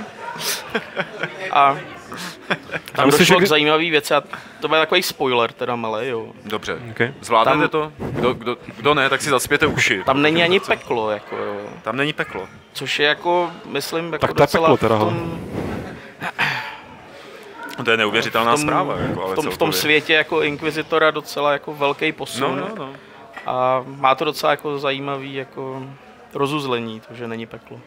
Hele, eh, v současnosti je k dispozici spousta takových těch vývojářských prostředí typu Unity a tak podobně. Hmm. Eh, To vás ani třeba nelákalo vzít si tam nějaký tenhle ten middleware, nebo jak se tomu říká, a začít v tom dělat to pokračování, když už jste měli ten základ literární? Tak jako my Unity máme samozřejmě, ale ne s tím, že bychom v tom chtěli dělat uh, RPGčko, protože my samozřejmě, jako když jsme třeba dodělali Numena, kterýho jsme dělali in-house, tak jsme si řekli, a už jako nikdy nebudeme dělat RPGčko, jo.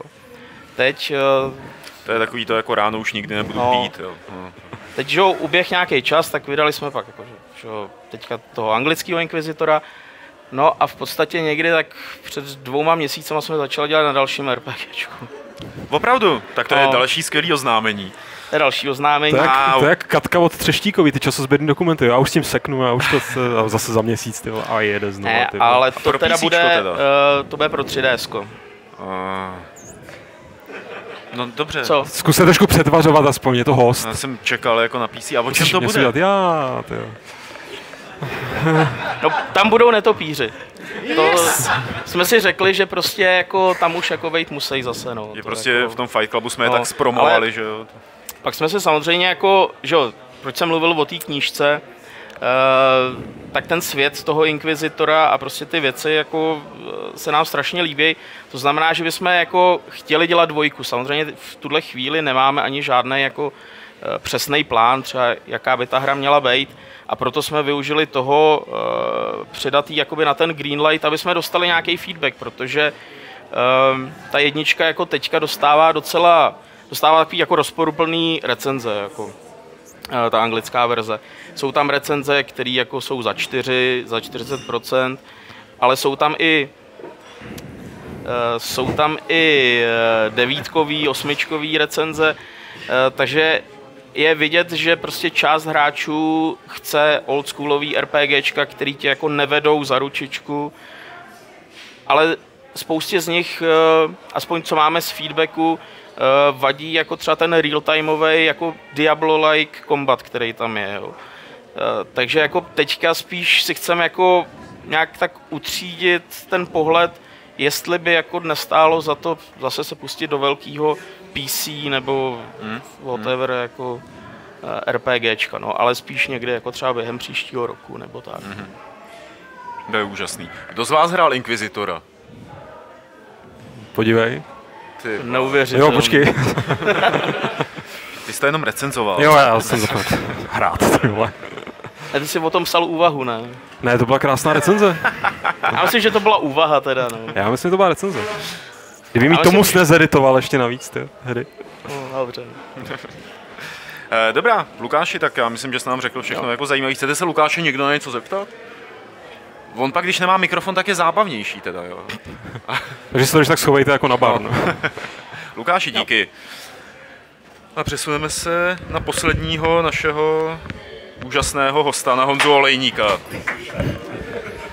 My jsme tady jako poslední téma, pravděpodobně poslední, máme tady ještě jedno teda potom, eh, zvolili takový, takovou obecnou otázku, za jaký hry jsme ochotní platit a za jaký uh, hry nechceme platit. A kde ty hry vůbec bereme, kdo z nás je stahuje, kdo z nás je nestahuje, kdo z nás se kupuje, kdo z nás je půjčuje, nebo je kupuje od Poláčka, když se zbavuje knihovny. Uh, možná je to taková jako otázka, kterou bychom mohli začít celkově jinak, tak jako která hra, kterou hru si koupíte, podle čeho hodnotíte, co si koupíte, co jestli, Jestli na to mám. jestli na to máš a vychází No. těch her hrozně moc, že jo? Uh, jasně, no já si myslím, že každý má asi uh, jakoby vybraný nějaký svoje oblíbený žánry, ve kterých v těch vodách se prostě pohybuje a potom se rozhoduje zkrátka, jestli je mu to téma blízký, jestli je příběh zajímavý a tak dále a v podstatě a mně osobně se líbí akční adventury nebo samotně adventury RPGčka a jakýkoliv vlastně myšmaše mezi tím, ale uh, vždycky eh, vlastně mi v hlavě zůstane hra, která má jakoby nějaký nový prvek. Ať se jedná o výtvarný styl, zajímavý příběh, nebo prostě jenom nějaký výrazný gameplay element. A znamená to ta, že jako čekáš na tu hru, koupíš si ji hned jak vyjde, protože jsou takový ty lidi, kteří třeba na Steamu čekají, až přiběhne jako slevový kolečko, že No, jo, jasně. a pak si to koupí. Jasně, uh, takhle jsou hry, které jsem fakt uh, koupil hned ten den, kdy vyšly.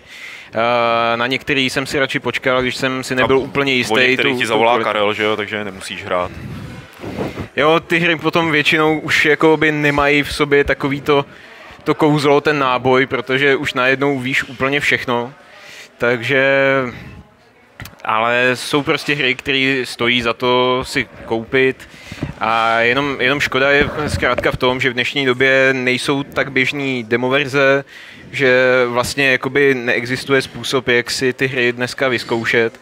Když pomineme nějaký online a podobný, podobný experimenty, takže My jsme něco podobného teď řešili, eh, a to budu být případně zvědavý tady nějaký eh, hlasy z publika, že jak říkáš, že nejsou demo verze, není možnost si tu hru vyzkoušet, když pominu teda, že si to nestáneš jako z Varezu, což jako je hod, taková naprosto normální Je- dneska je to- možnost. je to prostě- Tak, eh, tak eh, já jsem právě si tak jako přemýšlel, jaký hry jsem si koupil za poslední dobu a kolik z nich jsem jakoby měl vlastně nějakým způsobem vyzkoušených a že já opravdu se dost řídím recenzema, ne ve smyslu, že tady to dostalo 9, tak to musím mít, ale že si tu recenzi třeba i přečtu.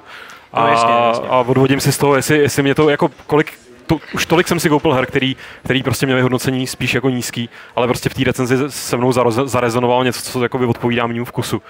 A Fotel jsem si třeba koupil, protože jsem tušil už dopředu, že to, že to prostě, co jsem o té hře viděl, že to, že to bude něco pro mě, pak teda Pavel, když mi to vyprávěl, tak už jsem teda neodolal, počkal jsem si, ne, nepočkal jsem si právě, to byla zrovna výjimka, když jsem si ani nepočkal nějakou slevu a dal jsem na to těch 10 eur, ty hrozný. Já jsem ale... si- jo, promiň. ne, povídej, pokud klidně mi do toho skoč. A já jsem si vlastně teďka vzpomněl někdy z, eh, v jednom z předchozích fight klubů, když jsem tam byl já, tak padla otázka, jestli máme nějakou oblíbenou hru, která vlastně nemá až tak dobrý hodnocení. A mě teprve potom sepnulo, že vlastně nový Alone in the Dark byl taková hra, která dostávala ty šestky, v lepším případě sedmičky, ale ta hra mě v podstatě bavila, já jsem si ji koupil a prostě vytržel jsem, vytržel jsem u ní až do konce. Jasně. Já jenom jestli teda můžu to zakončit, ta myšlenka měla být taková z mé strany, že že mě vlastně překvapuje, jak spousta lidí, že jo, pod našima textama, pod našima recenzama říká, jako dneska se tomu nedá věřit a tady tomu se nedá věřit. A ježišmarja, ještě jsem si to stáhnul a vyzkoušel. A jako můj osobní, moje osobní zkušenost samozřejmě ke, ke spoustě her přijdu skrz tu práci, takže jako nemusím prostě zkoušet úplně všechno. Ale eh, nemůžu říct, že by mě někdy můj nějaký šestý smysl, nebo jak to nazvat, recenzenský, který, nebo nevím, jestli recenzenský, ale prostě že, že, bych, že by mě někdy s, svedla na cestí nějaká recenze, jako naopak, prostě já většinu her jsem si koupil skrz to, jsem si o něco přečet, nemusela to být nutně recenze a nepř- přečet jsem si jednu, dvě, tři, případně jsem se teda podíval občas i na video nějaký. Jakože že, že neříkám, že to takhle mm, jako má fungovat automaticky, ale že mě up- upřímně překvapuje, když lidi říkají, jako jo, těm recenzím se dneska prostě nedá věřit. Ještě, že si to můžu stáhnout, nebo ještě, že vyšlo tady demo, nebo... To je možná dobrá otázka do pléna, jako co Právě. pro vás, jestli někdo na to chce odpovědět, co pro vás znamenají ty recenze ta herní, který vycházejí. Je to pro vás spíš zábava nebo informace opravdu jako průvodce trhem? Když si vezmu uh, Lukášův career comment, recenzi, No. tak tam se toho dozvím všechno. Plus vysloveně se i dozvím vyloženě dojmy z toho, co, co na té hře baví. Takže mám obojí. Když si vezmu ten XCOM, uh, ten si dělal taky si stejně jako tu psanou ty. Takže tam toho moc navíc není, bohužel.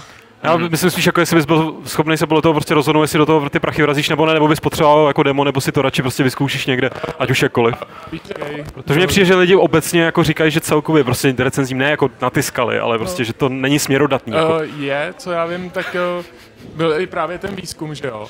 Uh, Google, co si. To nevím. Že, uh, lidi docela dost vyhledávají informace o hrách dneska a uh, na, na co primárně narazíš uh, v době launche? Na recenze. A jako vysloveně i klíčový slova jako recenze, když dávali vyhledávat, tak lidi to vyhledávají.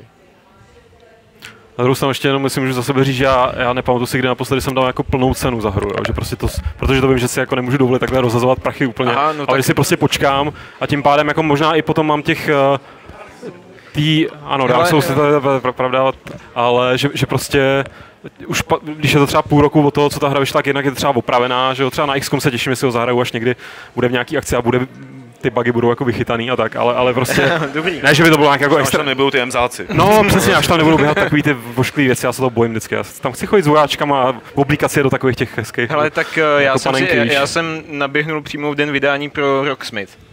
Ten jsem si koupil prostě přímo na tom veletrhu for Games a tam jsem toho opravdu nelitoval.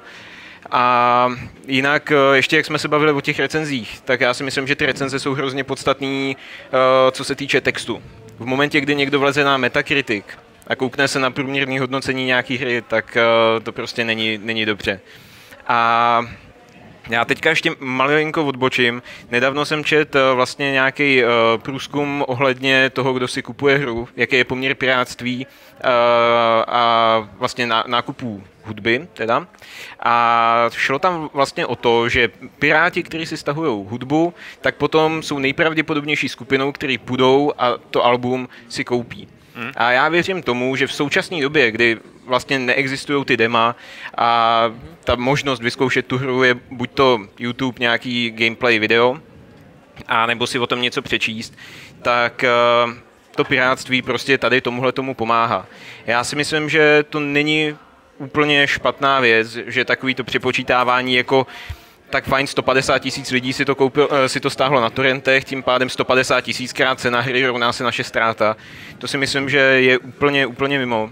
A vlastně ty lidi, kteří si to stáhnou a líbí se jim to, tak se dají přetavit v platící zákazníky.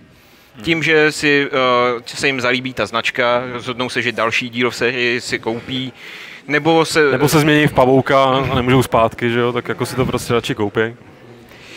Jo, jo. Mně přijde, že pro nás, co se hrama zabýváme, že jo, nebo tak prostě uh, na takový ty známé hry prostě uh, ty uh, recenze už na nás nějak nefungují, protože o té hře skoro už jako víme všechno, že jo, prostě. Jo, preview a trailery, mluvíte o nich v Fight Clubu, že jo, takže to nějak nefunguje. Tu, tu hru si už většinou koupíme prostě, když víme, že ji chceme, tak ani recenzi nečteme, koupíme si je prostě v den lanče. Ale spíš jakoby ty recenze fungují, když ta hra je neznámá. A mě třeba takhle zafungovalo Crusader Kings, který jsem si prostě, náhodou jsem si přečetl recenzi, žral jsem to, no tak hnedka jsem kupoval. No. Ještě, ještě tady kolega. Já jsem měl tady k tomu piráctví. Eh, Že si myslím, vy jste to taky říkal, je to minulý podcast právě v rámci toho, těch demoverzí, že na eh, konzolích vycházejí a na PC nevycházejí, tak jestli na PC to nesupluje právě ten Vares. Že prostě lidi stáhnou, vyzkouší, protože demoverze nevyjde, když třeba já jsem teď nový majitel Xboxu 360 a Resident Evil jsem si tam zahrál, chytlo mě to, líbí se mi, že jsem si tam už zahrál všechny ty čtyři dějové linky a nejenom teda jednu, kterou by mi náhodně vybrali a že teda uvidím ten jeden styl a vidím všechny. A koupil jsem si to, ale zároveň prostě na tom PC, já nevím, takový příklad třeba Assassin's Creed jednička, já jsem si Assassin's Creed jedničku taky stáhnul, zahrál jsem si první, já nevím, půlku určitě, možná víc. A ještě jsem si koupil, sice teda ve Slavě, ale koupil jsem si, protože prostě mě to vysupovalo to demo, který na ten Assassin nevyšel. Jasně, já s tímhle tím souhlasím. Prostě když už si člověk uh, tu hru stáhne a má pocit, že je dobrá, tak aspoň zpětně ocenit, ať už teda, ať je to třeba ve slevě, ale proč ne? Je to, je to prostě mnohem lepší, než stahovat a ještě se tím chlubit, prostě kolik už jsem toho postahoval. Jasně. No, ono, eh, bych spíš řekl, že je problémem, že mnohdy ty, i ty dema, když vyjdou, tak jsou zatraceně krátký a nemůže si z toho udělat žádný obrázek, že jo? Když tam budou nějaký tři mise z toho, jedna bude tutoriál, eh, druhá bude předskriptovaná jak noha a ta třetí OK, jedna Třetí tam mise- není už, jako. No, eh, tak když to porovnám, dema, který mě osobně nejvíc nalomili, uh, historii to byla demo na Sacred 2 a demo na Torchlight 2. Já jsem si myslel, že Torchlight 2 nebudu chtít, protože už mě přestaly bavit uh, ty hack and slash věci. Nicméně, uh, OK, četl jsem, jo, dobrý, lidem se to celkem líbí, ale vyšlo demo, zkusím, tak jsem si zahrál dvě hočky, a najednou jsem zjistil, hm, tak ono se mi to vlastně líbí. A podle mě to bylo hlavně kvůli tomu, že jsem si to mohl zahrát tu delší dobu. Kdyby to bylo nějaká hodinka, tak ten pocit z Torchlight nedostanu, podle mě. Jo. Nej, asi nejhorší demo, co jsem v životě hrál, bylo nějakých asi pět minut nějakého Jamesa Bonda. S, a bylo to gigový download. Tak i o to, jak udělají. No. Je to... Ale třeba Já... myslím, že tomu pomáhají třeba, jak jsou ty free weekendy na Steamu, že jo?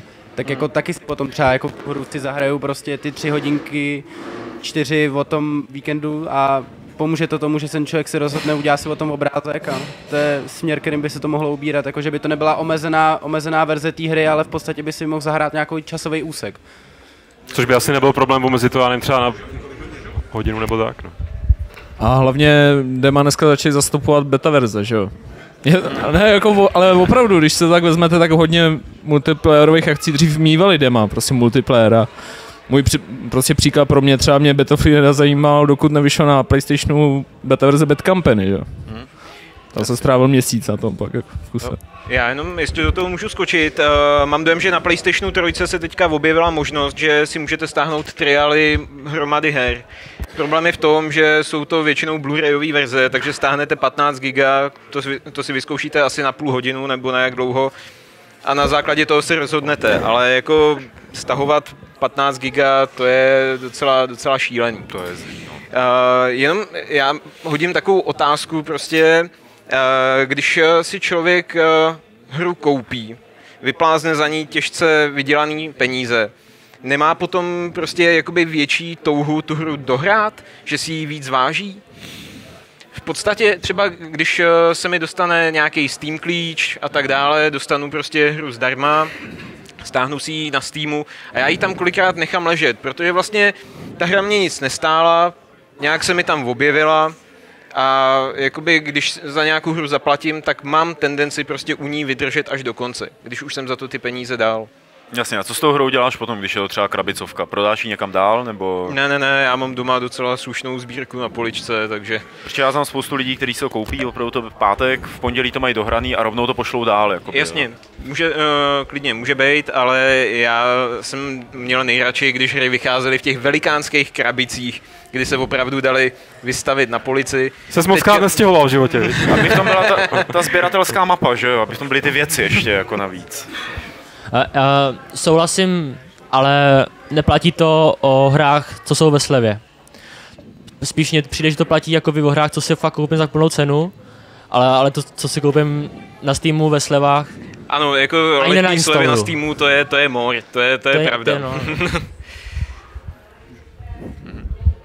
No tak já bych třeba, ještě, ještě jsem se chtěl vrátit k tomu vlastně k těm, těm staho, tomu stahování a třeba tam ještě vlastně oni vůbec nepočítají s tím, že i když si to někdo stáhne zadarmo a třeba tu hru dohraje a vůbec si tu hru nekoupí, že pořád ten člověk funguje jako reklama. Protože jo, pokud ta tak... hra je dobrá, tak ji doporučí dál a může, může donutit dalšího, aby si ji opravdu koupil. A třeba co se týká co se týká té tý hry, jako že by člověk litoval, tak uh, jo, já myslím, že jo, protože pokud člověk opravdu vydělává, tak uh, potom dát tisícovku za hru, což se mi stalo třeba, že jsme si s kamarádem koupili nový Fear mm. a jakože ho teda dohrajeme ve dvou, když je to tak úžasný, no a když jsme to měli za nějaký 4-5 hodin hotový, tak jsme si to vyčítali, protože jako prostě do rána. No, uh, já se, te, nechci kazit zážitek, já se proklínám za Resident Evil 6. Ten, ten mi neset, to prostě jako tam, tam mi toho bylo docela, docela líto, ale to tady teďka nebudu, nebudu rozebírat. Ale jo, je, je, to, je to pravda, že prostě uh, ty, ty peníze nainvestované do té hry už prostě znamenají něco, něco víc, že už to prostě není jenom něco, co jsem dostal zadarmo a nakládám s tím prostě jako s letákem, který mi přistál prostě ve schránce. A dá se říct, že třeba kupujete víc jakoby nezávislých her za 5 dolarů než jako velkých her? Ne, je to úplně jedno, takže na ceně až tak potom nezáleží. Jo.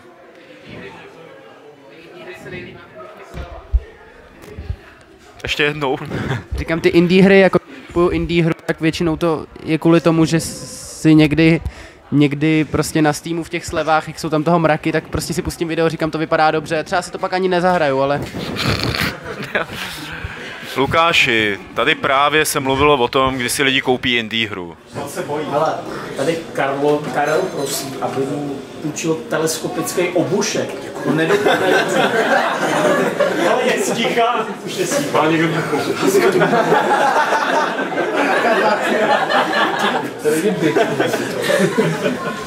Chybí mi tady jedna věc při téhle baví eh, se tu herní novináři a hráči a přitom tu máme Lukáše Macuru, že jo, který eh, s tím pirátstvím uh, taky občas trošku bojuje. No a plus tady máme ještě Martina Bacha, že jo, z AHB a ty k tomu... Oni přijdou ještě, jejich čas ještě přijde. Ale o pavoucích, o pavoucích už bylo řečeno dost, jako. Vypni to, nebo, no. Hele, dozadu, dozadu, dozadu. Jo, on se něco říct, jo. Lukáš bude mluvit. Abych někomu, kdo se jmenuje Lukáš, mikrofon nepůjčoval. No já nevím, to je jako hodně široký téma totiž, takže nevím úplně jako kudy, ale já si myslím, že to piráctví je jako fakt špatný, jo. Protože... Eh, protože já samozřejmě chápu, že asi existují lidi, který si to teda nejdřív upirátě, když se jim to líbí, tak si to koupějí. Pár jich tady sedí, Lukáš, můžeš se podívat. No jasně, jako dobře. Jako Připustme, že tady ty lidi, koupil Inquisitora. že, že tady ty lidi jako existují, jo. Ale eh, zároveň, když se člověk prostě podívá jako na celý jako herní obor, tak proč teda jako vzniká tak málo uh, velkých PCčkových her? No protože je na tom PC jako výrazně větší piráctví než na konzolích. Jo, to znamená, že ty firmy jako ztrácejí motivaci. Eh, Pokoušeli se bojovat jako ochranama, což mě teda přišlo jako špatný řešení, jako eh, všechny jako protipirácký ochrany, že ty trestají toho, eh, kdo platí, že jo, což je prostě jako, Ty prosazuješ jako nonsens. bez jako. ochrany. A e, takže jako když nepomohlo ani tohle, tak ty firmy jako ty velký to jako začaly opouštět. Ještě blíž. A e, takže jako to je ta odpověď, že jo. Prostě ve chvíli, kdy je jednodušší tu hru ukrást, než koupit, tak prostě ty lidi jako si ji ukradnou, že jo. Zvlášť, když tam ne- není žádný jako trest, jo. Tím já jako nevolám po tom, že by se měli prostě ty, eh, ty hráči, kteří si to stáhnou, že by se měli trestat. Ale trestat by se podle mě měli eh, jako ty provozovatele, který vydělávají na tom, že lidi chtějí věci zadarmo. Jo, protože tam je jako spousta firm, který jako na tom parazitujou, který vydělávají spoustu peněz na tom, že lidi jako kradou. Jo, a teď se řeší, jak zakázat lidem tu krádež, ale neřeší se, jak trestat ty, kteří to nabízejí, jako ten, eh, ten obsah. Jako. Protože když by, eh, když by jako nebylo tak jednoduchý tu hru nabídnout, aby si ji mohl kdokoliv stáhnout, no tak by si ji ty lidi nemohli ani tahat, že jo. A pak by mohli A zase ne- existovat dema a prostě fungovat a ne, to není jako to dřív. o tom, že by spíš jako se měli ta vymyslet systémy typu Steam, který by těm lidem ujednodušovali tu práci, aby se k těm hrám co nejrychleji dostali. Ale i Protože jako myslím, že by to je třeba to, co udělal dostat, Store, dostat hru jako, získat hru ze Steamu je jako těžší, ne, než si ji jako stáhnout zadarmo. Jako. Jako to je kravina, protože v tom případě by si lidi ty hry kupovali nebo prostě stavovali ze Steamu a nekradli by je na torrentech. A ten důkaz, že jakoby je snadnější krást, to je vidět na mobilních hrách, kde ta hra stojí jako 20 korunů. A přesto lidi jako masivně kradou ty hry. Protože je to pro ně jednodušší, než jako zaplatit 20 korunů. Ale to nezmění žádnou ochranu, no. To prostě jako... No ochranou ne, ale můžeš to změnit tím, že Přístupem. jako půjdeš po těch, který vydělávají na tom, že si to lidi můžou stahovat zadarmo. Já nevím, to je podle mě mentalita lidí a to je to, že prostě člověk řekne, no kdyby hry byly levnější, tak já si je budu kupovat. Ale to je typická výmluva, kdy prostě, i když ta hra na tom, na tom tabletu, na tom mobilu stojí 20, tak stejně ten člověk si to prostě si najde nějakým způsobem, jak si to stáhnout zadarmo, že i vynaloží to No, úsilí na to. s tím jako nesouhlasím. jo. My, my na Apple teda jednak tohle moc dělat nemůžeme. A potom na Apple, no, my- je tady věc, že ve chvíli, kdy to stojí tu 20, tak moc nepřemýšlím nad tím, jestli to do toho investuju nebo ne, jestli je to dobrý nebo ne. Tak to prostě jako koupím si, podívám se, je to blbý, smažu to. Jasně, a mám chvíli, taky kdyby na jako ty Androidu hry prostě 100 byly přístupné 120 tady tímhle tím způsobem, tak uh, myslím, že i víc by se prodávaly. Ale já myslím, že máš právě odstupňovaný, jakože myslím si, že jak tady se ozval znovu, že s- tím, jak se zaved Steam třeba, tak hodně vznikla ta poměrně velká skupina lidí, která prostě eh, se naučila, že jako je vlastně správný za věc platit. A že ty lidi, kteří fakt jako, že by za to nedávali ani tu dvacku, to jsou prostě socky, nebo já nevím co, nebo, nebo prostě nemají prachy, ale mají na ten mobil, zajímavý, Hm. tak, eh, tak ty nezměníš, jo? ale to je podle mě jako to, ten, tato skupina je menší a menší, nebo já to aspoň tak vnímám, prostě pamatuju si, že před pěti, deseti lety na nějakých internetových diskuzích bylo úplně normální se dočíst jako ty vole, ty jsi, ty jsi blbec, ty jsi to koupil, jako, a proč si to kupuješ, haha, lol a takhle. Dneska se víc lidí baví o tom, hele, ty zase akce na Steamu, jako, jo, mnohem víc, jako, podle mě ta kultura se nějakým způsobem mění, jo. Jo, jasně, ale je to prostě dlouhodobější vývoj. No, jasně, tak A je- je otázka, to jakoby- není problém našeho prostředí taky, protože mám Teď, teď, na jsem to, teď jsem západě... to chtěl říct, že prostě vlastně byla, byla machrovina, když člověk tu hru prostě někde sebral zadáčo a všichni, kdo si to koupili, tak vlastně byli blbci, že prostě jako za to vyplázli No, jasně, prachy, no. když to přeci jde udělat zadáčo. Což je taková jako mentalita, která neříkám, že je exkluzivní pro náš národ, ale rozhodně tady jako Ano, to- byla 40 let živená, že jo, takže jako... Jo, jo. No jasně, jo, právě že já bych, já bych chtěl ještě říct právě k tomu, že stahování je špatný. Tak Lukáši. kdo, kdo, těm, kdo těm lidem, já si teda nechci jako hájit, já si osobně stahuju přes Steam, Um, já si myslím, že to je opravdu ta super volba, ale kdo dává těm lidem uh, jistotu, že ty lidi, co si to stáhnou, i když je to třeba za 20 korun nebo za 1000 korun, uh, vypirátí si to, že by si to fakt koupili. Jako to je třeba jenom ta příležitost, že to prostě je to možnost si to vyzkoušet, je možnost si to zahrát. Ale kdybych si to nemohl stáhnout, tak stejně ty prachy třeba nemám a nekoupím si to. Možná jedna věc vždycky při té diskuzi o piráctví mě zaráží, že se nediskutuje tak úplně o tom uh, hlavním, protože cílem je prodat co nejvíc kopií té hry, že jo. A ano, piráctví je jeden z důvodů, proč se jich prodá míň. Nicméně uh, Hlavní je prostě, že se, jich snaž, že se jich snažím prodat víc a snažím se na ní víc vydělat. Já bych řekl, že v tom by mohlo být víc psů zakopaných, než jenom to piráctví. Že jo, když si vezmu třeba, uh, když, no jasně, Bullet Storm, nebo jak to bylo? Bžuzdrm. Bžuzdr, tak.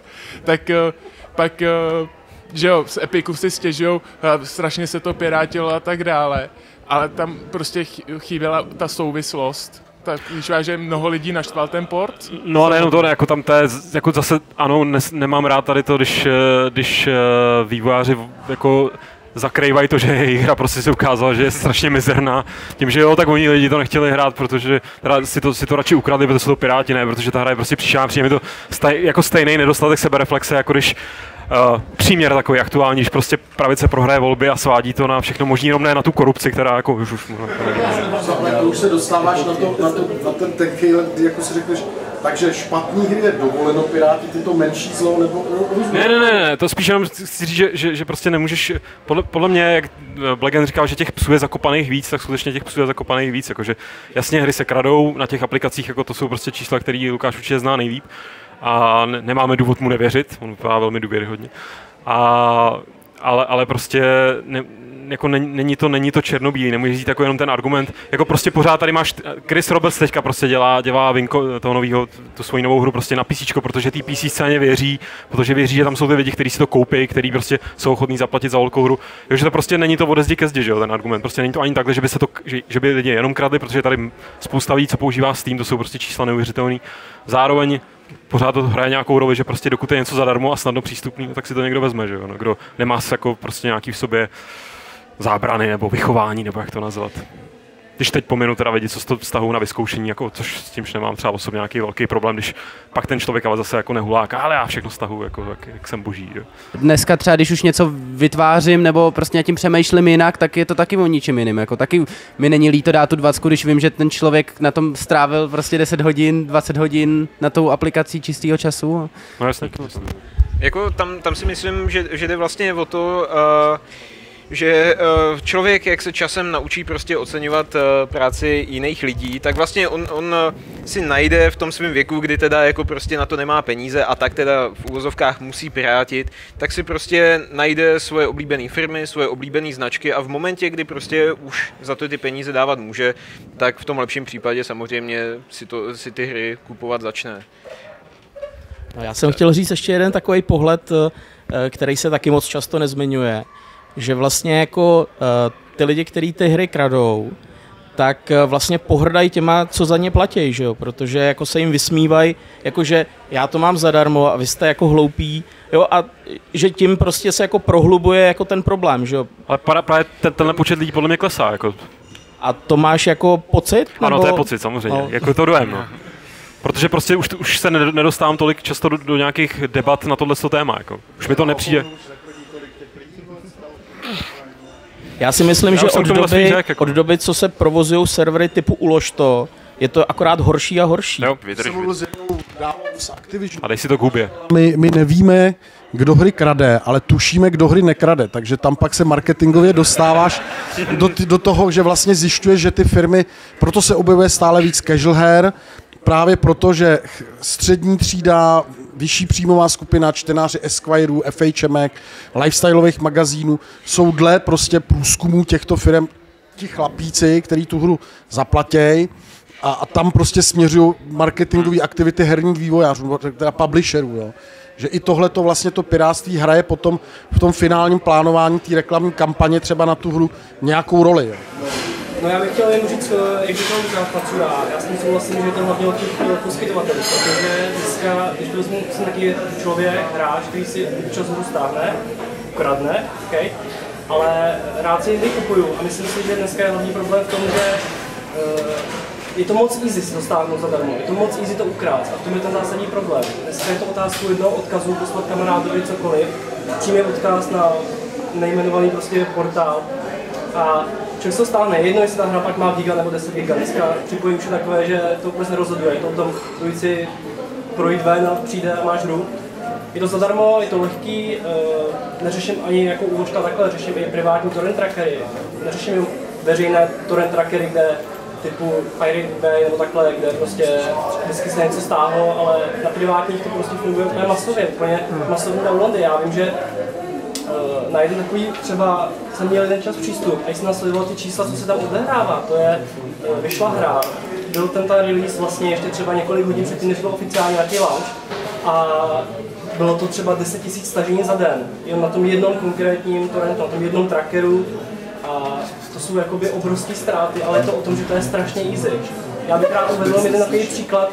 Já třeba uh, zamiloval jsem se do Tom Clancy's Hawks, do stíhaček a pamatuju si, že vlastně jednička, uh, jednička vlastně vyšla a hned se zpirátila, hned byla možnost si zahrát, ale tím, že dvojka měla nějakou ochranu, nevím, co tam bylo konkrétně za ochranu, ale do dneška, ještě jsem se koukal, jsem se měl právě, že jsem chtěl tady načít to téma, tak do dneška eh, není krknutá ta hra. Do dneška si tu dvojku nemůže Pirát zahrát. V čem je ten rozdíl, že u takové hry to nejde? Tam malý zájem o toto krknout? Ty... Já, bych, eh, já bych to vzal asi z té strany, že vlastně eh, já jsem eh, z One C Company, my děláme King's Bounty, Man of War a tak dále a vzhledem k tomu, že mám občas přístup k mailům na tech supportu, tak se nám jednou stalo, že nám začaly chodit e-maily týkající se, myslím, nějakého Man of War s tím, že prostě ta hra v určitý moment padá. A my jsme zjistili, prostě tím, jak jsme zkoušeli prostě to zkoumat ze všech možných stran, až jsme se dostali, mám dojem asi na Pirate Bay, kde jsme našli u toho torrentu dlouhatánskou diskuzi o tom, že ten crack prostě nefunguje a že eh, v nějakém okamžiku prostě hodí chybu DLL knihovny. Takže jakoby já teda nevím, jak je to u jiných her, jak prostě je snadný prostě kreknout, já nevím, teďka Dishonored nebo Assassin's Creed, který vy- vyžaduje online připojení. Ale mně nepřijde, že by to bylo až tak jednoduchý prostě to, to nakrekovat. Mně přijde, že ty některé současné ochrany jsou natolik sofistikovaný, přesně jako ty, ty Hawks od eh, Toma Clancyho, že se prostě to kreknout eh, nepodaří. Určitě to není malý zájem. I naše v podstatě malý, malý hry, které jsou často prostě spíš u průměru, tak byly kreknutý třeba den po vydání. Takže to není o tom, jaký, to, jaký ta hra má hodnocení, nebo jaký je o ní zájem. Já nevím, ne, nedokážu to prostě odhadnout, co způsobuje to, kdy se cracker k té hře dostane, ale... To je rutina, to je prostě průmysl. Šed, šedej průmysl, Dřív to který jede bývávalo prostě tak, že to bylo o prestiži. Cože? Tam je pak docela zajímavá věc sledo, sl- sledovat to, že vlastně ta reakce toho biznisu někdy přichází pozdě nebo, nebo ve špatný čas. A třeba teď typický příklad z posledních dvou let. Filmový průmysl investoval desítky milionů dolarů do ochrany Synavia, kterou dává na Blu-ray. Ty si stáhneš HDčkový film v Divixu, vypálíš si ho. Ta teze toho filmového průmyslu je taková, ty si ten pirát si stáhne film z internetu, vypálí si ho na CDčko, dá ho do svého značkového Blu-ray přehrávače a zjistí, že prostě po 10-15 minutách se mu vypne zvuk. A tohle to je stálo ke 100 milionům dolarů. Skoordinovat prostě tu činnost a všechny tyhle ty věci. A prostě všem jim uniklo to, že vlastně 90% těch pirátů ty filmy stejně jako nesleduje na, na, na svým originálním Blu-ray přehrávači, ale že je sleduje prostě na multimediálních centrech, na tabletech, na počítačích a případně teda na USBčku, který prdnou do televize, že vlastně ten Blu-ray přehrávač nepotřebují, jo? takže tam je mnohdy vidět, že ta investice do té protipirátské ochrany je strašlivě drahá a nepřináší vůbec žádný efekt, protože tam třeba zrovna nesedějí lidi, kteří jako nejsou i v tom pirátství vizionářem prostě. Že? jo. Já bych to ještě nahlídnul z jiného úhlu. A to jsou crowdfundingové kampaně. Sakra, přece mi neříkejte, že když jako PC hráči jsou schopní dát tady do Star... Ne, to nebyl Star Citizen, to bylo to oldschoolový RPGčko od Obsidianu. 4 miliony dolarů. Takže nekupujou. Já tomu nevěřím. A to tu hru nedostanou jako zatím, jo, prostě... A, a, a vůbec, a přesně tak, vůbec nevědí, jako, ne, ne, Tim, Tim Schafer, nic nevyšlo, jako, to se tady taky probírá pořád. A, a jako, ale zaplatí za to. Předem ještě navíc, když A- nemají jistý produkt. A já myslím, že to je prostě jenom signál toho, že ta kultura se jako mění, pomalu, ale mění. A že místo toho, aby vráželi tady nějaký ty syn, syner, syner, něco, že jo, někde si říkal 100, 100 milionů, jakože takový ten dojem těch relativně slušných, uh, hodných hráčů, tak je, že ať radši tyhle prachy vrazejí do toho, aby ty hry byly dobrý, že jo? jo. A my si je pak rádi koupíme, ne třeba za litr, ale za 7 stovek, za 5 stovek a stáneme si je přes Steam, protože on ten Steam je docela pohodlný. Jako. Hele, jako Karel k tomu měl docela dobrou poznámku před nějakou dobou, kdy, kdy teď už nevím v jaký souvislosti, ale jo, v souvislosti s recenzema. Když se tady, záleží, si to myslím říkal, jako, že v podstatě recenze nepotřebuješ k tomu, aby se rozhodl, že je koupíš. Karel poznamenal, ne, to jsme se bavili o recenzích, ještě předtím, ještě, ještě dál, dál, dál. Že, nebo někdo tady říkal, Petře- že, že je nepotřebuje. Dobře, dobře. A konstantně. Hele, tady jde prostě o tom, že na vás funguje marketing, ačkoliv si to nechcete přiznat, taky stát je prostě marketing úplně stělesněný sám o sobě. Oni vám slíbějí, že udělají takovou takovou hru. V lepším případě tam vydají jeden screenshot. A je vidět, že fungují fakt jenom velký jména a náhodně i nějaký malý. Šef po té svý hře prostě neřekl nic, jako lauter nic. Proto jsem mu taky nedal ani korunu. A... Takže tím říká, že to, že se kradou hry jiný, takže mají špatný Ne, marketing. já teď vůbec nemluvím o, o kradení, jako není třeba Nemůžeš zatracovat jako, pí, není třeba zatracovat jo, PC no, hráč, já jako chápu, kdo kupuje hry, tak má prostě čistý svědomí a může ho jenom štvát s prominutím, že, že je tady skupina lidí, pro který jako je to otázka cti, když vydají krek na tu hru jako prostě do dvou dní, že tady tyhle lidi já bych názel do žumpy prostě. Lukáš Macura by se po to určitě podepsal. Uh, Nemám, no. Pánové, Jo, jako jenom, jenom bych chtěl říct, že prostě je to velmi, velmi, velmi o marketingu pořád. Jo, a teď narážím třeba na to, když prostě na Games se rozjede velká marketingová kampaň třeba k Assassinovi, tak každý den je tam nějaký materiál. A už lidi jsou z toho unavený, ale ono to prostě na ně funguje. Bohuž, bohužel je to tak. závěrečný slovo tady v té debatě, Lukáš. Aleš, Já bych chtěl jenom zareagovat na ten Kickstarter. Jo. slova. Eh, To je právě eh, podle mě jasný důkaz, že eh, podle mě pro to studio by nebyl tak velký problém sehnat 4 miliony dolarů, ale oni nejdřív tu hru potřebují prodat, než ji začnou dělat. No, protože jako eh, dát ty 4 miliony by byl pro ně jako velký riziko, že jo? Jo, a samozřejmě je to, souhlasím s Petrem, je to vlastně hlavně jako marketing, jako jo. No já jen odbočím. Za A se mi zdá, že to tu spousta lidí bere, jo, dík. Jako, teď jsme proti PC hráčům. Jako myslím si, že z tohohle kroužku drtivá většina z nás hrála na PC před 20 lety třeba, jo. Takže sotva budeme proti tomu zaměřený. Machruje. A co se týče toho prodeje, tak jako stačí, že mluví ten biznis sám za sebe. Teď se to zlepšuje, jak říká Lukáš, určitě. Začínají se zase objevovat hry na PC. A kde máte Red Dead Redemption? Kde máte hry z téhle doby, z tohohle období, který se na konzolích prodávaly, ale nikomu nestálo za to dělat PC konverzi. Protože se to neprodávalo tehdy.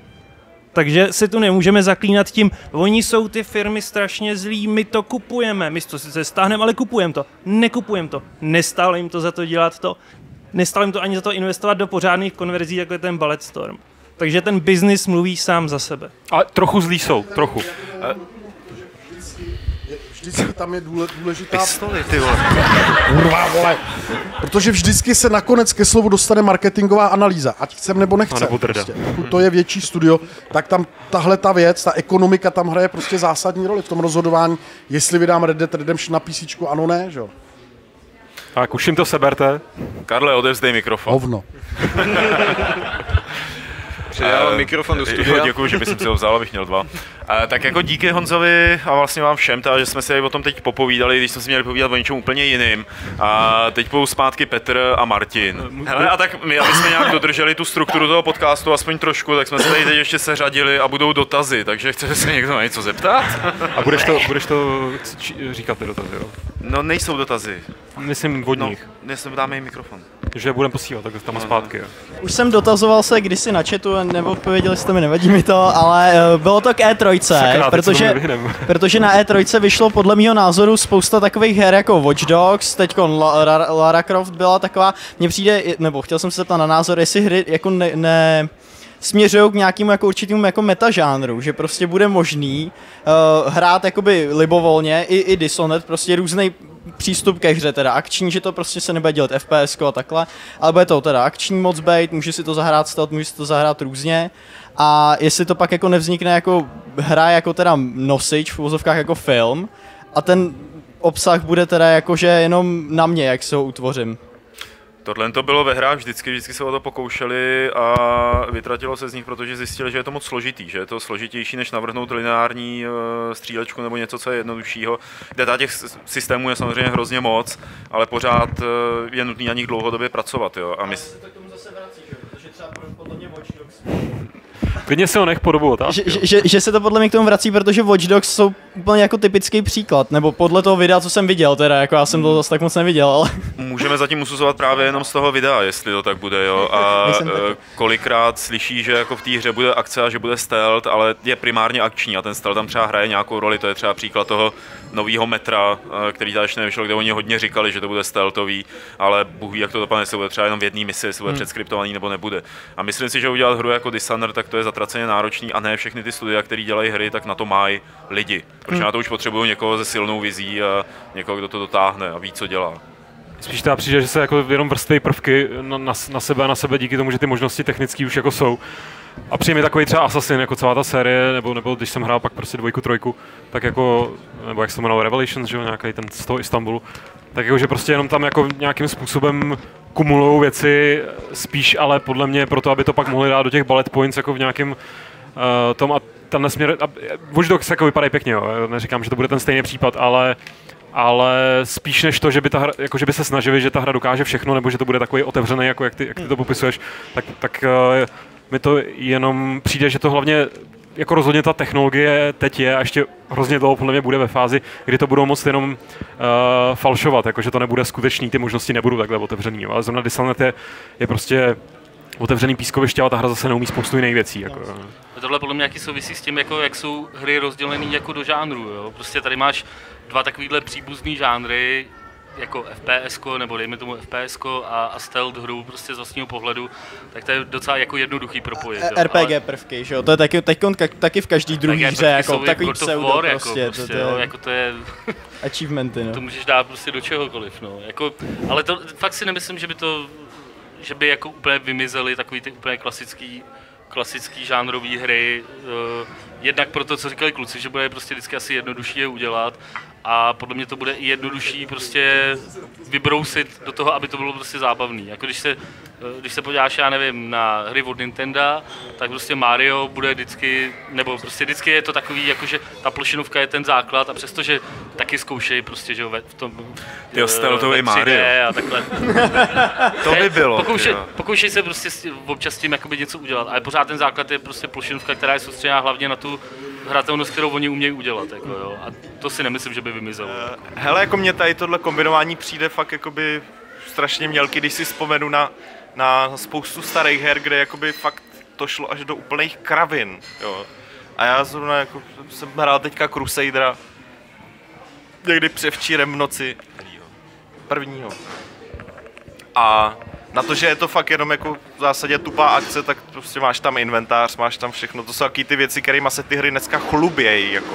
Přestože dřív to bylo jako i v podobně jakoby čistě akční hře úplně normální. A myslím si, že všechno to jakoby totálně zničil Molino, který ho nemám rád.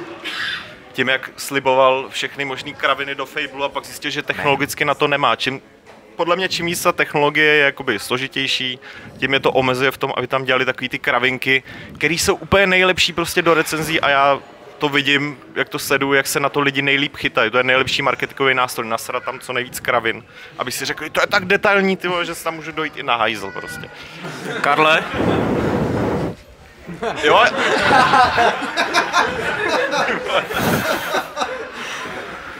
Konečně jsme se dostali tam, kde jsme chtěli být od začátku. Jo, jinak, jinak prostě jako si myslím, že ty hry ani jako, že, že se to nemění moc. Třeba zrovna ten Tomb Raider, tam jako nikdo z nás ani pořádně neví, jo. Oni jakoby ukázali pár videí, jedno bylo prostě příšerný, lineární, druhý bylo takový trošku lepší, ale furt nikdo pořádně neví, jak teda ty lokace budou otevřený, on to spíš bude takový jako trošku větší koridor. Dobře, můžeš tam lovit srnku, to je případ toho jako záchoda, že jo, v podstatě, jo. Prostě si uděláš to jedno a pak se na to Assassin? vykašleš prostě. Ne, Tomb Assassin, Raideru. Tomb Raider. Tomb Raideru. V Assassinovi můžeš i králíky totiž. Assassinovi můžeš i králíky, to je super, ale tak tam je to regulární herní to mechanismus, tak, že jo. Takový divný, ale je. To je jako v Red Dead Redemption, že jo? Tam taky Třeba. lo, lo, je ekonomie, že jo? No, jo, jako proto mně přijde, že se to fakt nějak moc nemění, jo, že prostě furt ještě kolikrát mi přijde, že ten vývoj je jakoby hnaný technologií dopředu, aby to bylo fakt pěkný, namísto toho, aby si to, aby si to měl teda fakt jako propracovaný, což znamená, že to nebudeš mít tak pěkný, zákon tě nebudeš, protože se nem- nemůžeš věnovat. To jsi řekl hrozně hezky. Jenom, jenom rychlovka, jak, mo, jak moc vás překvapilo zrušení Shakeru, to old school RPG? Jo, to je dneska čerstvý, nevím, jestli to se Brandy Viny, nebo jak Já to řeknu velmi rychle, ani trošku. Zrušili, t- jak měli ten old school RPG, to mělo jmenovat, tak, tak eh, stáhli to z Kickstarteru a že to zkusí znovu a líp. Že prostě počkají, Reversky něco překvapení. Mě to docela překvapilo, já jsem rád, protože, protože tím ukázali, že jako pochopili nebo vzali si k srdci tu zpětnou vazbu, což je jedině dobře. A když jsem se díval naposledy, jak tam měli asi 20% vybraných peněz, asi 200 tisíc dolarů, 250 tisíc, no. Takže jako už jsem si říkal, tak pohoda, jako já jsem říkal v nějakém předchozích podcastu, že bych se vsadil s kýmkoliv o cokoliv, že to nevyberou, jako. A, takže jsem si říkal, no ty bláho, ono možná, kdyby se to Oni by to tam možná jako s možná by to by to dali, dali, no. no. Kdyby si tam pos, Romero by jim poslal prostě 100, 200 tisíc, Jasně. pak by se je vybral zpátky, tak možná by to dali, jako no. Takže já jsem rád, že to zrušili, jsem měl pravdu. Fight Club. Um, pořád to se snažili nějak zlepšovat, že jo? Teďka jsme tady živě třeba. Uh, Jestli je to zlepšení. No. uh, vnímáte nějakou... od toho začátku, před těma dvouma, dvouma rokama, vnímáte nějakou narůstající popularitu? Aspoň trošku? Mě překvapuje vlastně jako neustále. No, no jo, no. Od toho začátku, jak málo jako ten, ty herní servery u nás na to reagovaly, na ty podcasty. Jo. Dneska jsou kolik? Tři jsou? Eurogamer má, my Hrej, máme a Hrej. Score. Score? To ještě, Score má nadcast, no. To ještě jede. A Zing možná? Já nevím. No. Já nevím. Hele, tak jako mají, mají, mají menší jako ty servery, že jo. Uh, aniž bych se teda chtěl nějak být v prsa, To tak, můžeš. uh, Ale máš ten mikrofon, víš? tak uh, až teda na kolegy z hreje, tak uh, uh, ty ostatní podcasty jsou takový jako aluze na podcasty.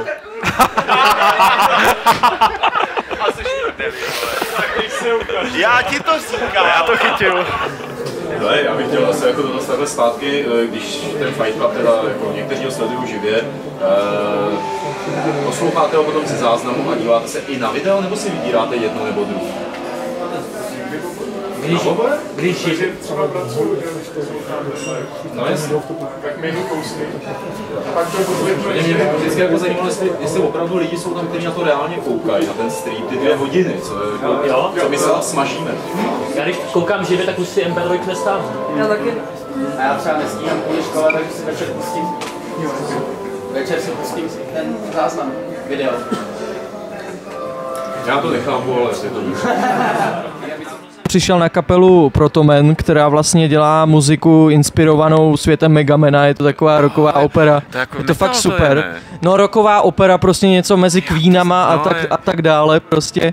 A mě by zajímalo, protože mě to hrozně baví, jestli je něco podobného, nějaký podobný projekt, který dělá hudbu ne pro videohry, ale inspirovanou nějakou, nějakým videoherním světem. Uh, jo, jo. Uh, tvůrce, který se jmenuje Miracle of Sound. Je to vlastně jeden chlapík, který sám skládá hudbu, uh, píše si texty a vydává, dřív vydával dvakrát za měsíc uh, písničky, teďka jednou měsíčně a má tam vlastně uh, songy inspirovaný známýma hrama, prostě Uncharted, Batman a tak dále.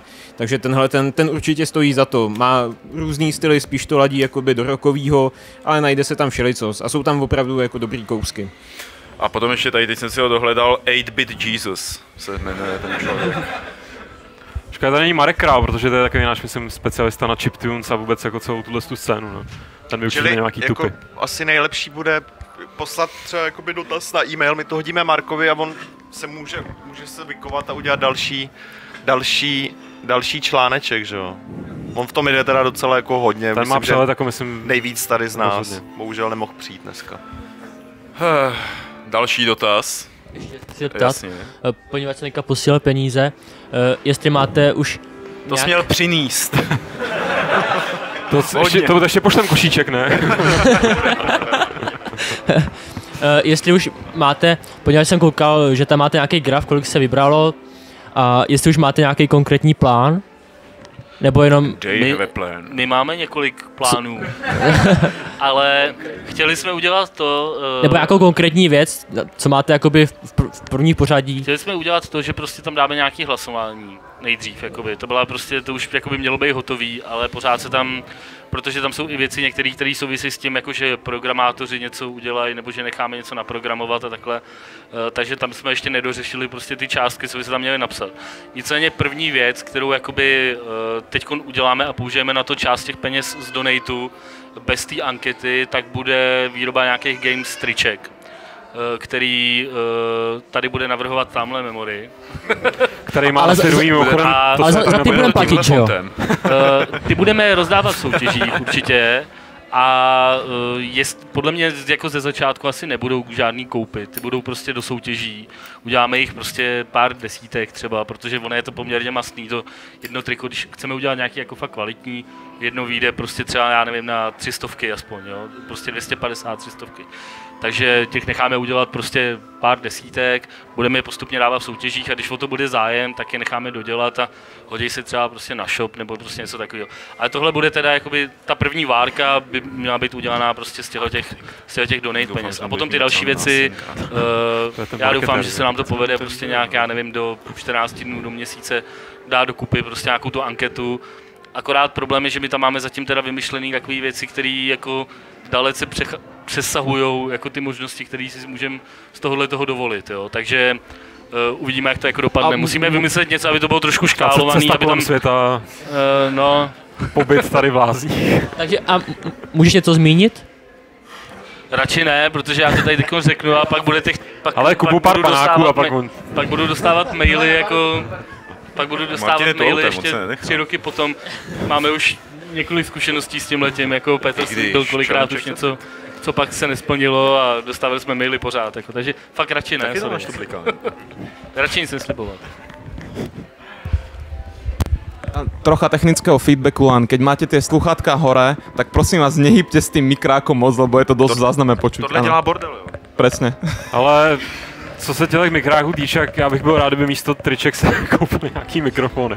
Ne, jakože že tohle je boj dlouhodobě, který snad uvidíme, jestli se nám podaří vyřešit s tím, co jsme zmiňovali na, zač- na, na začátku, že vyzkoušíme to nahrávání v tom studiu a jo, jako já, já tím, že to pak stříhám na sluchátkách a hraju si s tím zvukem, tak jako trpím s váma všema, kdo to posloucháte, Já, jo. jako. já, já mám pocit, že ta klavírista už nás opravdu nenávidí. A tak jestli ještě nějaký otázky, pojď, Kdybyste se měli zítra ráno probudit a rozhodli jste se, že se vykašlete na to, čím se živíte a založíte herní studio, zajímalo by mě, ne za kým půjdete, ale s čím přijdete, jakou hru byste chtěli 20.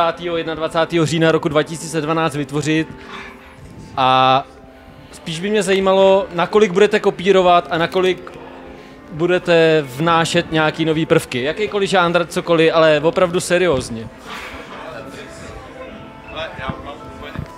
Ty máš mikrofon. Hele, já mám úplně kon- konkrétní ideu, vzhledem k tomu, že jsem dneska absolvoval cestu z Brna do Prahy. Tak... eh, Ne, ne, ne, ne, ne, ne, ne, ne, ne, ne, ne. E- e- Eurotrack. Taková tahovka, jako v podstatě.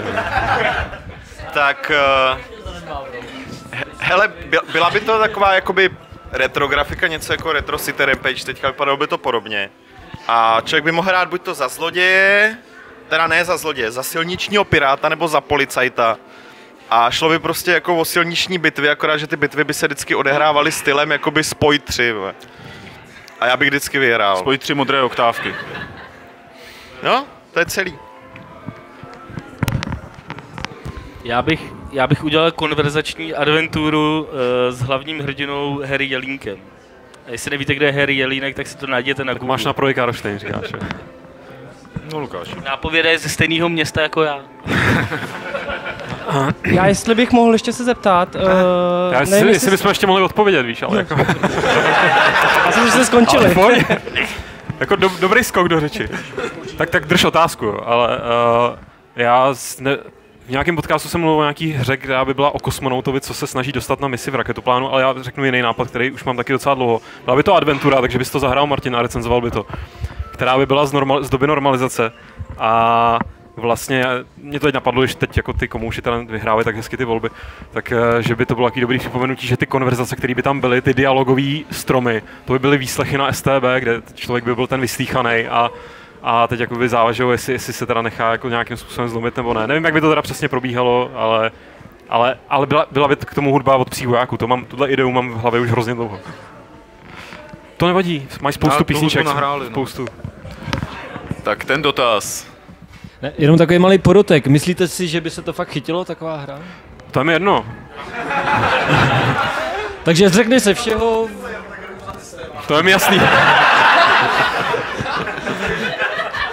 To je mi Začneš úplně jasný. vymýšlet hry, které je ti úplně jedno, jestli se jima uživíš nebo ne. No jasně, jako já bych to k tomu přistoval stejně jako, já nevím. K, k jiným věc, věcem, který dělám, že prostě to už, jako když by se to chytlo, tak by to bylo super, jako rozhodně bych byl rád, kdyby to mělo 10 z 10 a prodalo by se to ho spoustu třeba na Steamu nebo v nějaký indie akci, ale to by nebyl ten důvod, proč tu hru dělám. že? Eh, Já bych tím asi uzavřel ty otázky, eh, protože už je skoro 6 hodin. To už je hodně. Takže vyhlásíme tu soutěž tady s Aluzema. Eh, My jsme vás bedlivě sledovali skrz ty vypnuté kamery a, a vybité. A zjistili jsme, eh, Martine, že PS Vitu vyhrává. Vezmi PS Vitu.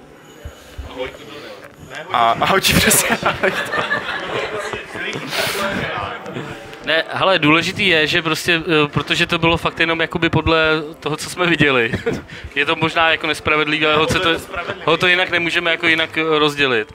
Tak eh, já jsem viděl někoho, o kom si myslím, že byl první, a Pavel viděl někoho jiného, o kom si myslím, že byl první. Ale pochází z dost stejného sektoru. Pochází teda, do jo, stejného takže- sektoru. Eh, takže jsme se rozhodli, že jeden teda dostane Vitu a jeden dostane tamhle jednu z her podle vlastního výběru. Je tam Skyrim, Empire, Total War a ještě něco? Co tam je? A New Vegas, jo. Mhm. Takže ten druhý člověk si může vybrat z těch tří her. Takže Takže a- já to teď předám. Eh, Podle, podle našeho eh, zvážení eh, vyhrál tady PS Vitu kolega s trikem ACDC, takže ti gratulujeme.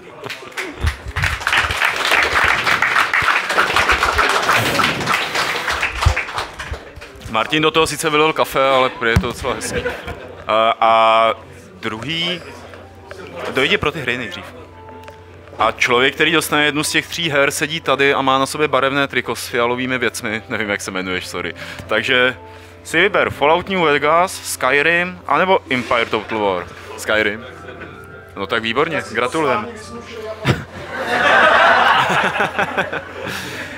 A tyhle dvě hry, Martine, jdou do soutěže normální. Tak a do Fallout New, Fallout New Vegas a Empire Total War jdou do příští, do téhle soutěže, která bude vyhlášena ve Fight Clubu 101 eh, a od, musíte odpovědět na otázku, kolik stran má knižní Inquisitor 2. Eh, A ten, kdo správně odpoví a bude vylosovaný Petrem Poláčkem tady, kdo správně odpoví na e-mail podcast.games.cz, tak ten vyhraje Fallout New Vegas a Empire Total War pro PC.